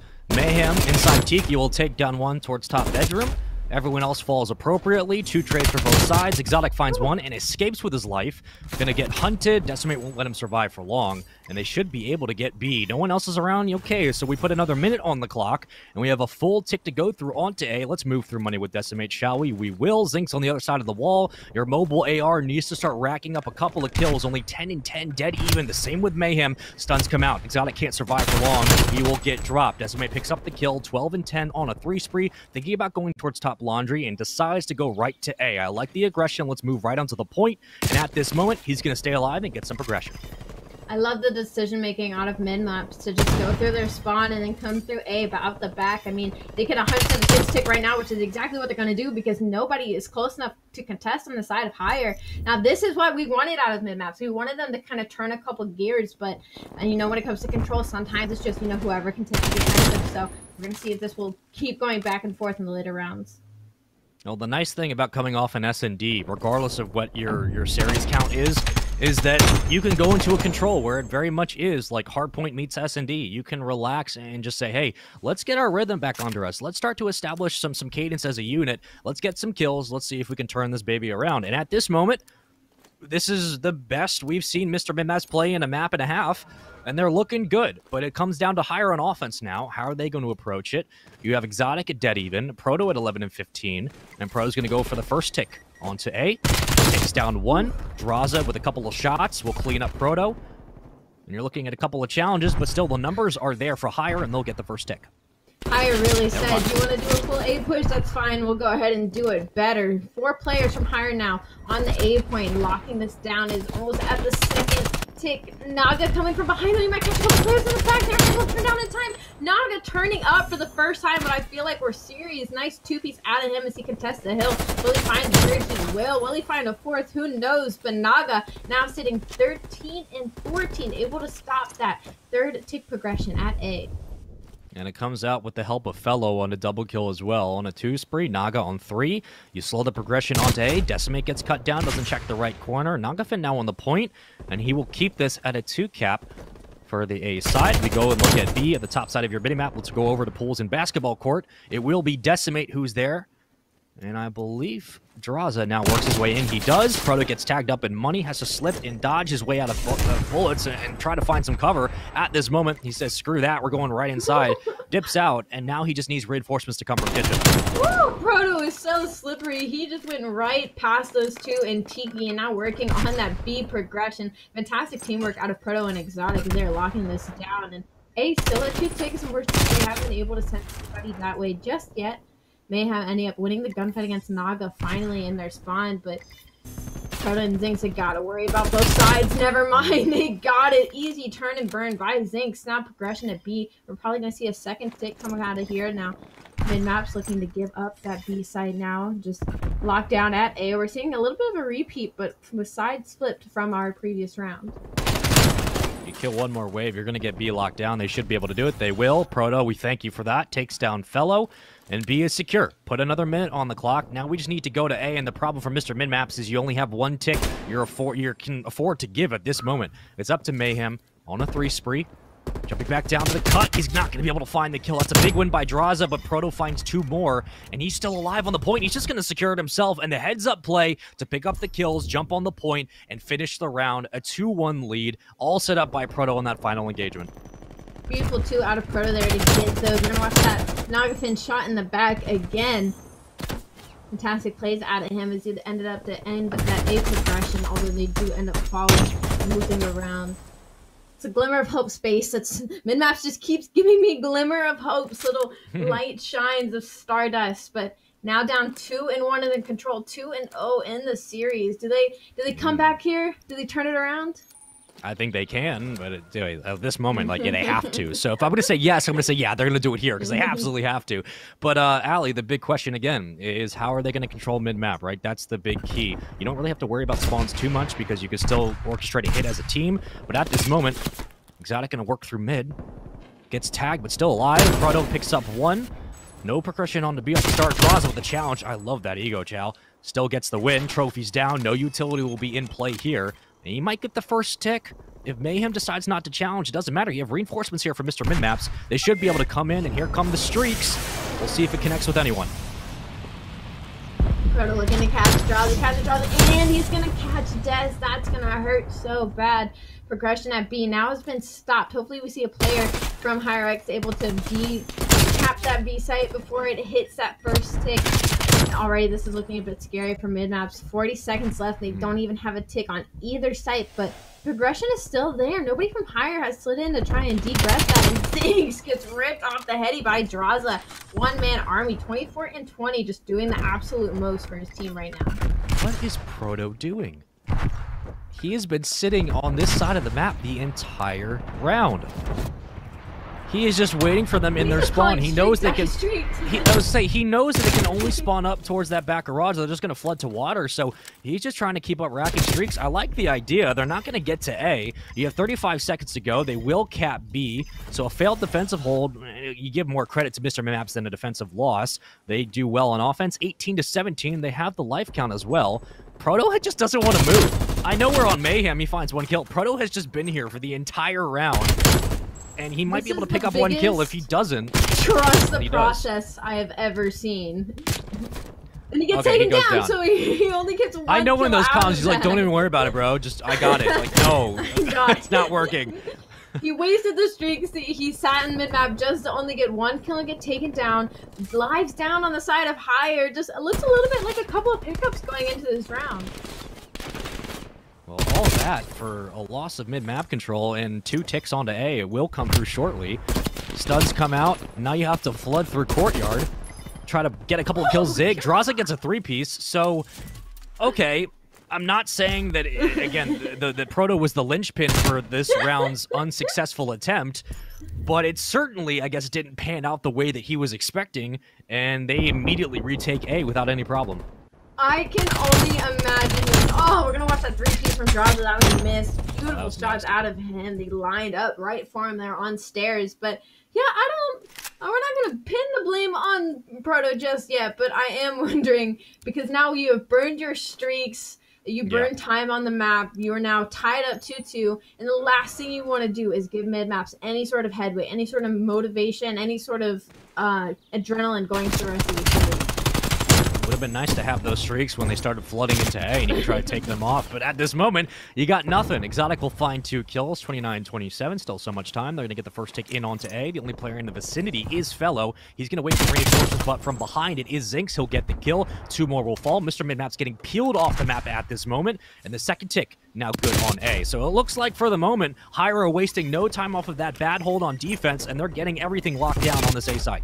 And that's exactly what they needed. A is basically gone, signed off, and done. And mid maps are so pushed up and spread out on the map. So Higher really needs to work on winning these 1v1s because even if they kill the mid map, they still have to work their way all the way to B site, which is mm. across the map. Drazah really trying to have something to say, but Exotic ends up shutting him down. I mean, talk about Exotic being an absolute superstar this entire series, and he's just proving it again and again how good of a player that he is if you're higher, I guess the, the entire strat right now is shut down Drazah, and you probably win. Because Drazah is 34 and 26, constantly finding 2 3 kills.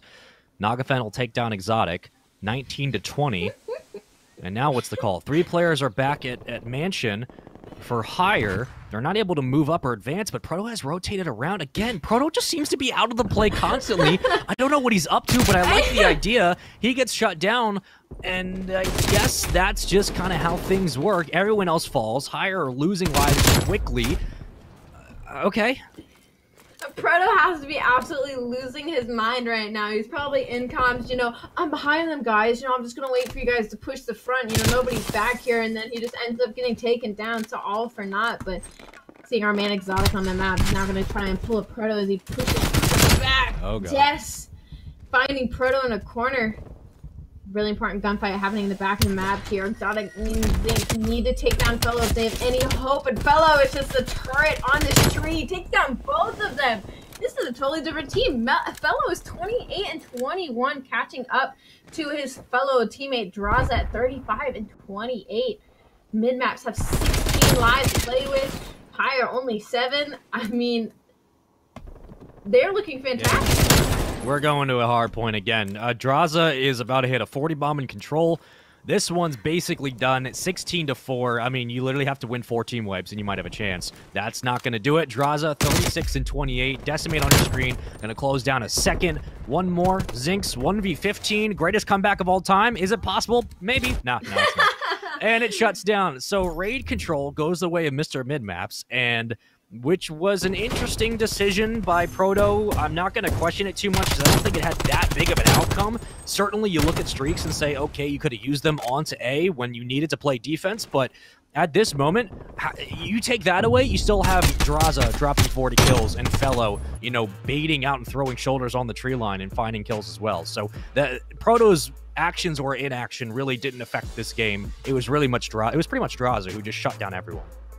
Absolutely. And I mean, I look at those last two rounds and I almost not take them that seriously. But I mean, actually looking at it, I mean, maps being down as much as they were, I mean, the comeback has been very serious for this team. We definitely saw Decimate start to wake up a bit there. Drazah doing Drazah things on the map, getting twos and three pieces for his teams. I can only imagine his comms is like, come on, guys, like, I'm doing my best here. I need some help. And I feel like that really woke up Fellow and Decimate for sure. Mm. And Naga, I'm pretty sure ended pretty even across the board. So we could see a bit of a different hardpoint coming out. I'm still favoring higher just a bit, but again, I mean, fantastic stuff going on in mid maps. Well, let's take a look at the replays. And, you know, you talk about that hardpoint, and I do wonder, are we seeing the resurgence of Nagafen in this series? Are we seeing fellows starting to snap? Uh, Drazah just continues to be a monster. There's no question about that.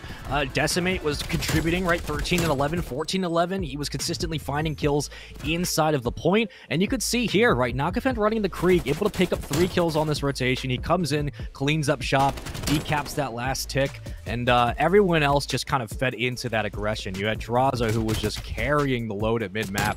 And after that, I mean, you're relying on Exotic to do all that he can. Mayhem wasn't really helping. Zinx wasn't really helping.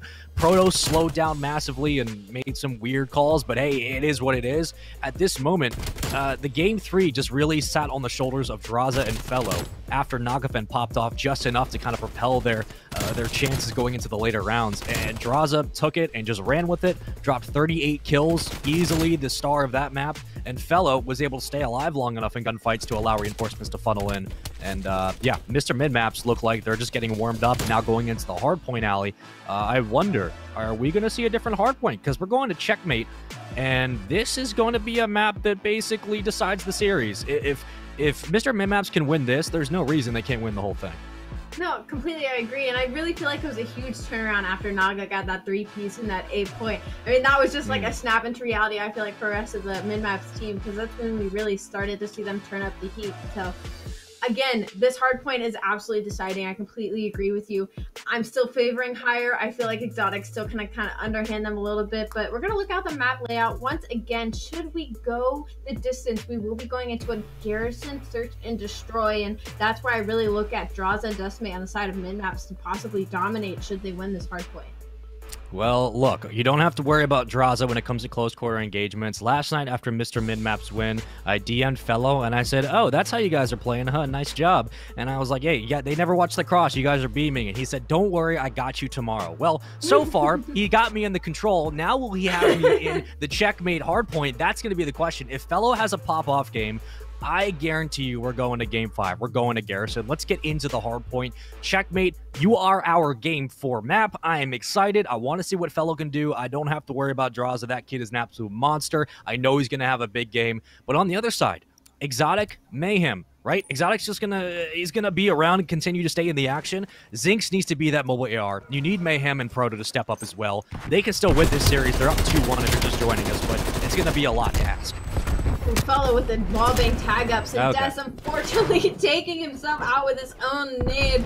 A little bit of a prenup there, but we're on board with Drazah. He's gonna catch a couple players in the back. Gonna try and use a playing window.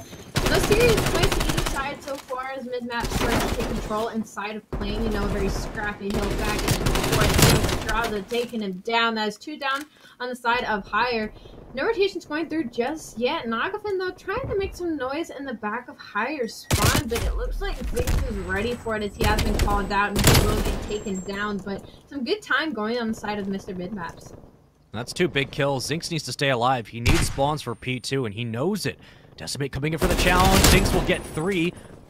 Excuse me, that's a two streak for him. He'll find both closing in from both sides. Not much he could really do, but 27 to 9. Again, the first hard point on this map. Not really going to find a lot of time, just looking for scraps if you can. Contest where you might. And at this moment, it's up to Exotic in the back. Zinx's working there as well. Nagafen gets shut down. There's a double kill. And finally, Higher might be able to lock down some spawns, but nope, Fellow is there ready and waiting. I mean, even though fellow was able to take down Exotic, I mean, that allowed Higher to push through the front right in the back. I mean, you saw mid-map spawn up, and all three of them turned to kill for Exotic. After transfer through, Zinx finds two. What was looking like it was mid-maps once again. Zinx said, no, thank you, not today. Not Drazah and Fellow do get taken down the front, and 30 to 18, Higher is still in this game. They're gonna get this full 20 unless Des has something to say about it. Nade goes out, but he will get taken down by his teammates. And Midmap still seeming to fight for the scrap right now. There's about 10 seconds left in this hardpoint. I'm very confused as to why they're investing so much and not allowing number 5 to Jock to get into plane and get that early control. Well, the fact that Higher got that much time off of that hill, there was no trophy down the entire time. So nades were flying left and right. You have Zinx at 8 and 5, 5 seconds in the hill. Uh, 17 for Proto. He kind of sat pretty and was uncontested. Exotic trying to work through top lane. Hill at the very bottom. We're about to have a tie game. We will have it now as Exotic finds that second kill on this life. Exotic rotating through the back of Wood. Let's see if he's able to cut down anyone who stands in his way. He might get knocked up into the back. He will. Look close and dangerous for a moment. Picks up the XM4, and now they're going to rotate in. Exotic basically does an entire parabola around the map and runs into the hill uncontested. No one else there to challenge. Mr. Midmap's very hesitant to come in for the contest. Shots ring out, and at this moment, no one's really been able to grab a solid lead going into our third hill higher if they're able to get this last seconds. But we still a little pretty going to the next hill. And again, like I said, mid-maps, this was the last thing they wanted to let happen was let higher and let exotic and let things to start to get on these streaky moments. And that's exactly what they're doing. And they're already on rotation as well. I mean, mid-maps keep investing so much this last couple of seconds of point, I'm so confused why they aren't just taking the advantage to rotate early, but Drazah and Nagafen able to first couple of seconds Exotic and Zinx say, no, I'll take that, thank you very much. And Midmaps, I'm just seeing no rotation out of them. I feel like I'm seeing some mistakenly calls of hitting 10 seconds on the last hill, and they need to get it together before Higher starts running for this. If I have to play devil's advocate, to Midmap's credit, they are breaking the first setup of higher each time, but they're not really gathering any extra additional hardpoint time off of that. And for higher, kind of a similar situation. You're just about to cross the 100 point mark. Finally, you will do it. Nagafen on your screen, can't find the second. Mayhem at 7 and 7 sitting inside the hill, 50 seconds to his name. We rotate through Drazah towards the top of the plane. Three more were hit right behind. Interesting run through as they look like they're just trying to get mid-map control, but also you're giving up a lot of extra 10 seconds in the hill. Drazah picks up two, just a disgusting reaction. But again, like you said, Ali, like they're, they're not worried about rotation, but also they're giving up 15 or, or 10 or so seconds on the ends of each hill, which kind of adds up if you think about it. I mean, right off the bat, that hill just popped in what seemingly was complete map control for mid maps. Nobody was in the hill collecting the time, and now they're just getting picked out and spawning deep, and they're in the hill for now. But I'm very worried for mid maps playing the rest of these hard points, these rotations, if they keep playing the way they have been. Naga, though, picking one off of plane. They have a good setup here. They can 100% be right back into the game, but Naga gets taken down. And once again, mid maps are just starting to get taken apart one by one by Higher. Drazah is entirely too weak for a fight, but still giving it all. Trying to find one on the outside of the boxes, getting tagged up from the right. The slide comes through. Mayhem will find two. Mayhem will find three. 11 and 9. Exotic now sitting in the hill. Nagafen on your screen has to rotate through spawn. Try to find one towards top plane. It Zinx and will shut him down. Drazah in the back. What can he do? The time continues to tick up for higher. You need to start getting some solid hill time. It feels like we've seen them break. We've seen them come in the end. We've seen them hold for maybe 10 or so seconds, but we haven't seen them grab a full 40, 50, 60 seconds off of a hill. They desperately need that to stay in this game. Zahaza, you had to wait teammates there as he slid in all in his lonesome and him oh, down, oh but here comes cavalry fellow with a nice two help from Des finally some time going in the way of mid maps, but again, last time we saw this happen, it didn't last for too long. Trying to force their way in. No trophies down. Cavalry is out.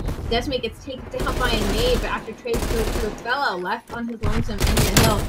Not picking up the time though as he gets out and gets taken down. Now 19 seconds going way up higher. a little bit of rotation out of mid maps finally. Drazah sitting in wait need to rally some kills if you're higher. This game's gotten a little bit too close for their liking. You'll be able to rotate back towards P2. We'll head to NASA. Back there, ready and waiting, is Zinx.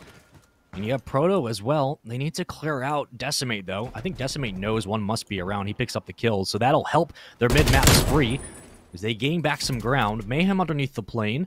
Rotating around might get perfect timing. He'll do it. Wins the gunfight as well. He gets cut down, but at least the information is known. Drazah won't last long. Proto takes out Exotic. I guess so. Higher still in the hill. 167 and counting. About to be 100 points up if Mr. Midmaps don't do anything to respond. Decimate at 14 and 20. Nagafen at 11 and 19. Drazah at 13 and 18. Fellow just almost even. This is not looking good. You desperately need a stronghold and a clear, but you can't even get through the backline AR. Proto with the AK-74U takes down Decimate. Mayhem is still there ready and waiting. Nagafen drops. Zinx is uncontested. Not really a need for the trophy because no utility has come out. And they're about across 200 to 86. Uh, at this point, you can win the game off scrap time. This is bad for Mr. Midmaps. I mean, Zinx and Proto were starting to take out their own teammates at this point. It was getting so boring sitting in middle, and we finally see a rotation out of mid maps. But across the board, I mean, Drazah, the god himself, is 15 and 19, fellow 18 and 19, Nagafen 11 and 20, Des 16 and 22. I mean, nobody's able to get out of the team. Zinx is having his way under the plane. Where where did mid maps go? They had such a strong start, and then it's like the gear suddenly just got stuck with a nail in the middle of them. Higher is looking fantastic on this hard point. Well, I don't know if it's just, I mean, it, for the past minute, it's been just higher killing everything, but for the entire game, it's just seemed like Mr. Mid Maps never had a strong grasp of how they wanted to hold an actual hill, and they were just playing kills. And that's okay, but it only works if we're actually able to outslay everyone else on the map. At this moment, they finally cross, cross 100 points. Streaks might come in. You're paying for information. You'll get said information. 209 to 105. Closing it in on a 100-point difference. We pop for P3. Excuse me, P4. Exotic will find one kill.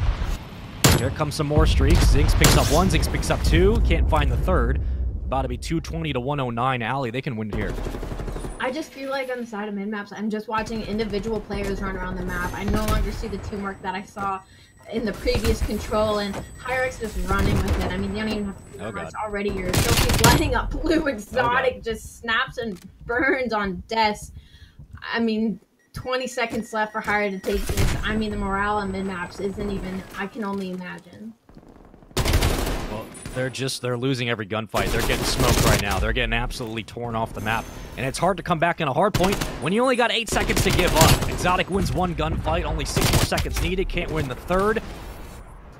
Numbers start to funnel in, but that might be all she wrote, folks. This has been an absolute slaughter. They will stay alive for the moment they took the Game 3 control, but as the new hill pops, no one is around, and Higher are going to win the series off a dominant checkmate hardpoint. Absolutely heartbreaking, Spaceman. It started to go downhill the second that I saw that they were hitting 10 seconds on late rotation over and over and over again. It wasn't even a one mistake of like, oh, oops, we committed a little too much to this last right. 10, to this last 20. It was hill after hill. They were committing to like 20 seconds of scrap that they easily could have given up to get 20 to the next rotation. So it was definitely a heartbreaking match to watch. Heartbreaking is right. You two both sound demoralized. I think Mr. Midmaps at this point is feeling it more than anyone else. I mean, that's a that's a squad of great guys. We've seen them put up some of the most exciting matches of Call of Duty in our scene in many for many years. When we got half of Team Revenge on there, half of Team Elevate, uh, you know, Nagafen and Fellow, certainly big names in the community, but they just couldn't pull through. Ali, I think you said something really important that might touch on what we saw throughout this whole series, and it just seemed like it was a team of individual players. They didn't seem to be on the same page. They just weren't finding the kills, and we saw it especially unfold there in that hard point.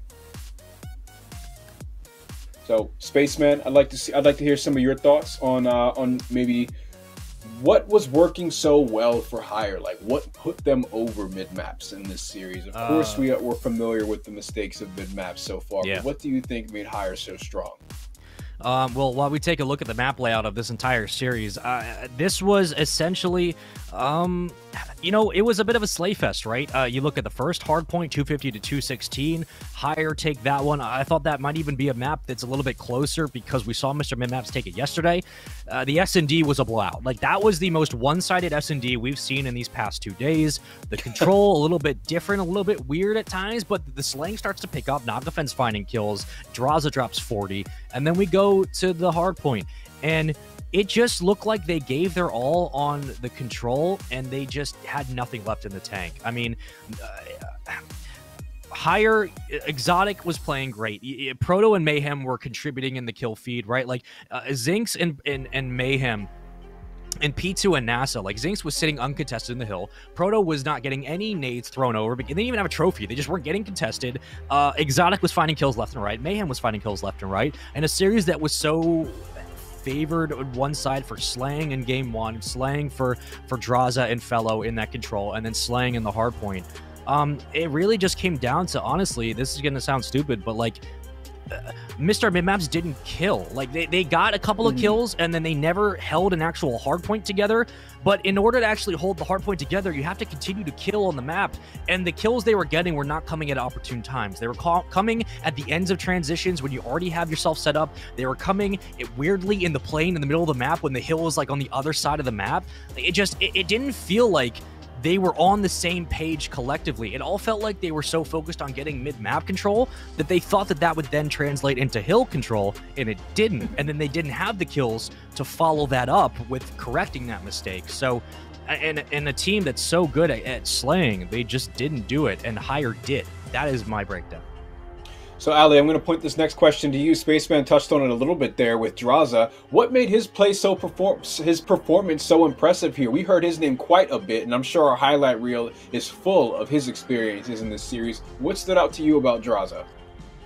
I mean, even though they ended up falling, Adraza has just been consistently trying to carry his team on his backpack. You know, whenever Midmap started to get a couple of footholds, it was usually Drazah's name behind it. You know, sometimes it would be Fellow, sometimes yeah. it would be Des, but it would always be followed by a Drazah getting a two piece, doing a three piece in Hill, getting that plane control. It was always Drazah kind of being the back line to kind of make those plays for his team. Unfortunately, they just weren't able to keep up. Seems to me that Drazah was the core of the little bit of success that we did see out of Mid Mr. Midmaps in this series. Uh, would you say that that's true to maybe their performance in the Challenger series thus far in this season, Spaceman? What do you think? Uh, you know, I think that it can be. I'm gonna disagree. I think it could be easy to see that that Drazah has that effect because he drops such big numbers, right? And, and, you're looking at his recent success and the fact that he was in the pro league. But let's also remember that Fellow is very much the IGL of this team. And you even look back to last season when Fellow galvanized Standy and Diamondcon with the team changes they had, and Paul X who was there for a little bit. Like Diamond. Uh, excuse me, uh, um, Fellow is is an IGL for this roster, and I feel like he maybe just didn't have complete control over it. But with Fellow and Nagafen there, you're talking about fellow currently a, su- a, sub for Dallas Empire. Like this should have been a team that didn't have communication issues. They shouldn't have had IGL issues. Right. Drazah was popping off and no one else was. And that's the problem is that when your IGL is struggling and Drazah is really only carrying just by numbers wise, there's something discon- there's disconnect there, right? And so it just seemed like they weren't on the same page the entire series. Thrilling conclusions tonight in the North American region. We saw the Subliners delivered their first 3 0 loss here as Wester was able to come over the top of them. And we also see Mr. Midmaps falling to the enemy team here. We're going to come to our, our next bit of competition in, in the Call of Duty League next week. It is Elimination Week. We have a, a lot of a great lineup ahead of us, and I hope you all tune in. Thank you very much for tuning in and checking out the show for today. We'll be back again with more Call of Duty action. Stay tuned.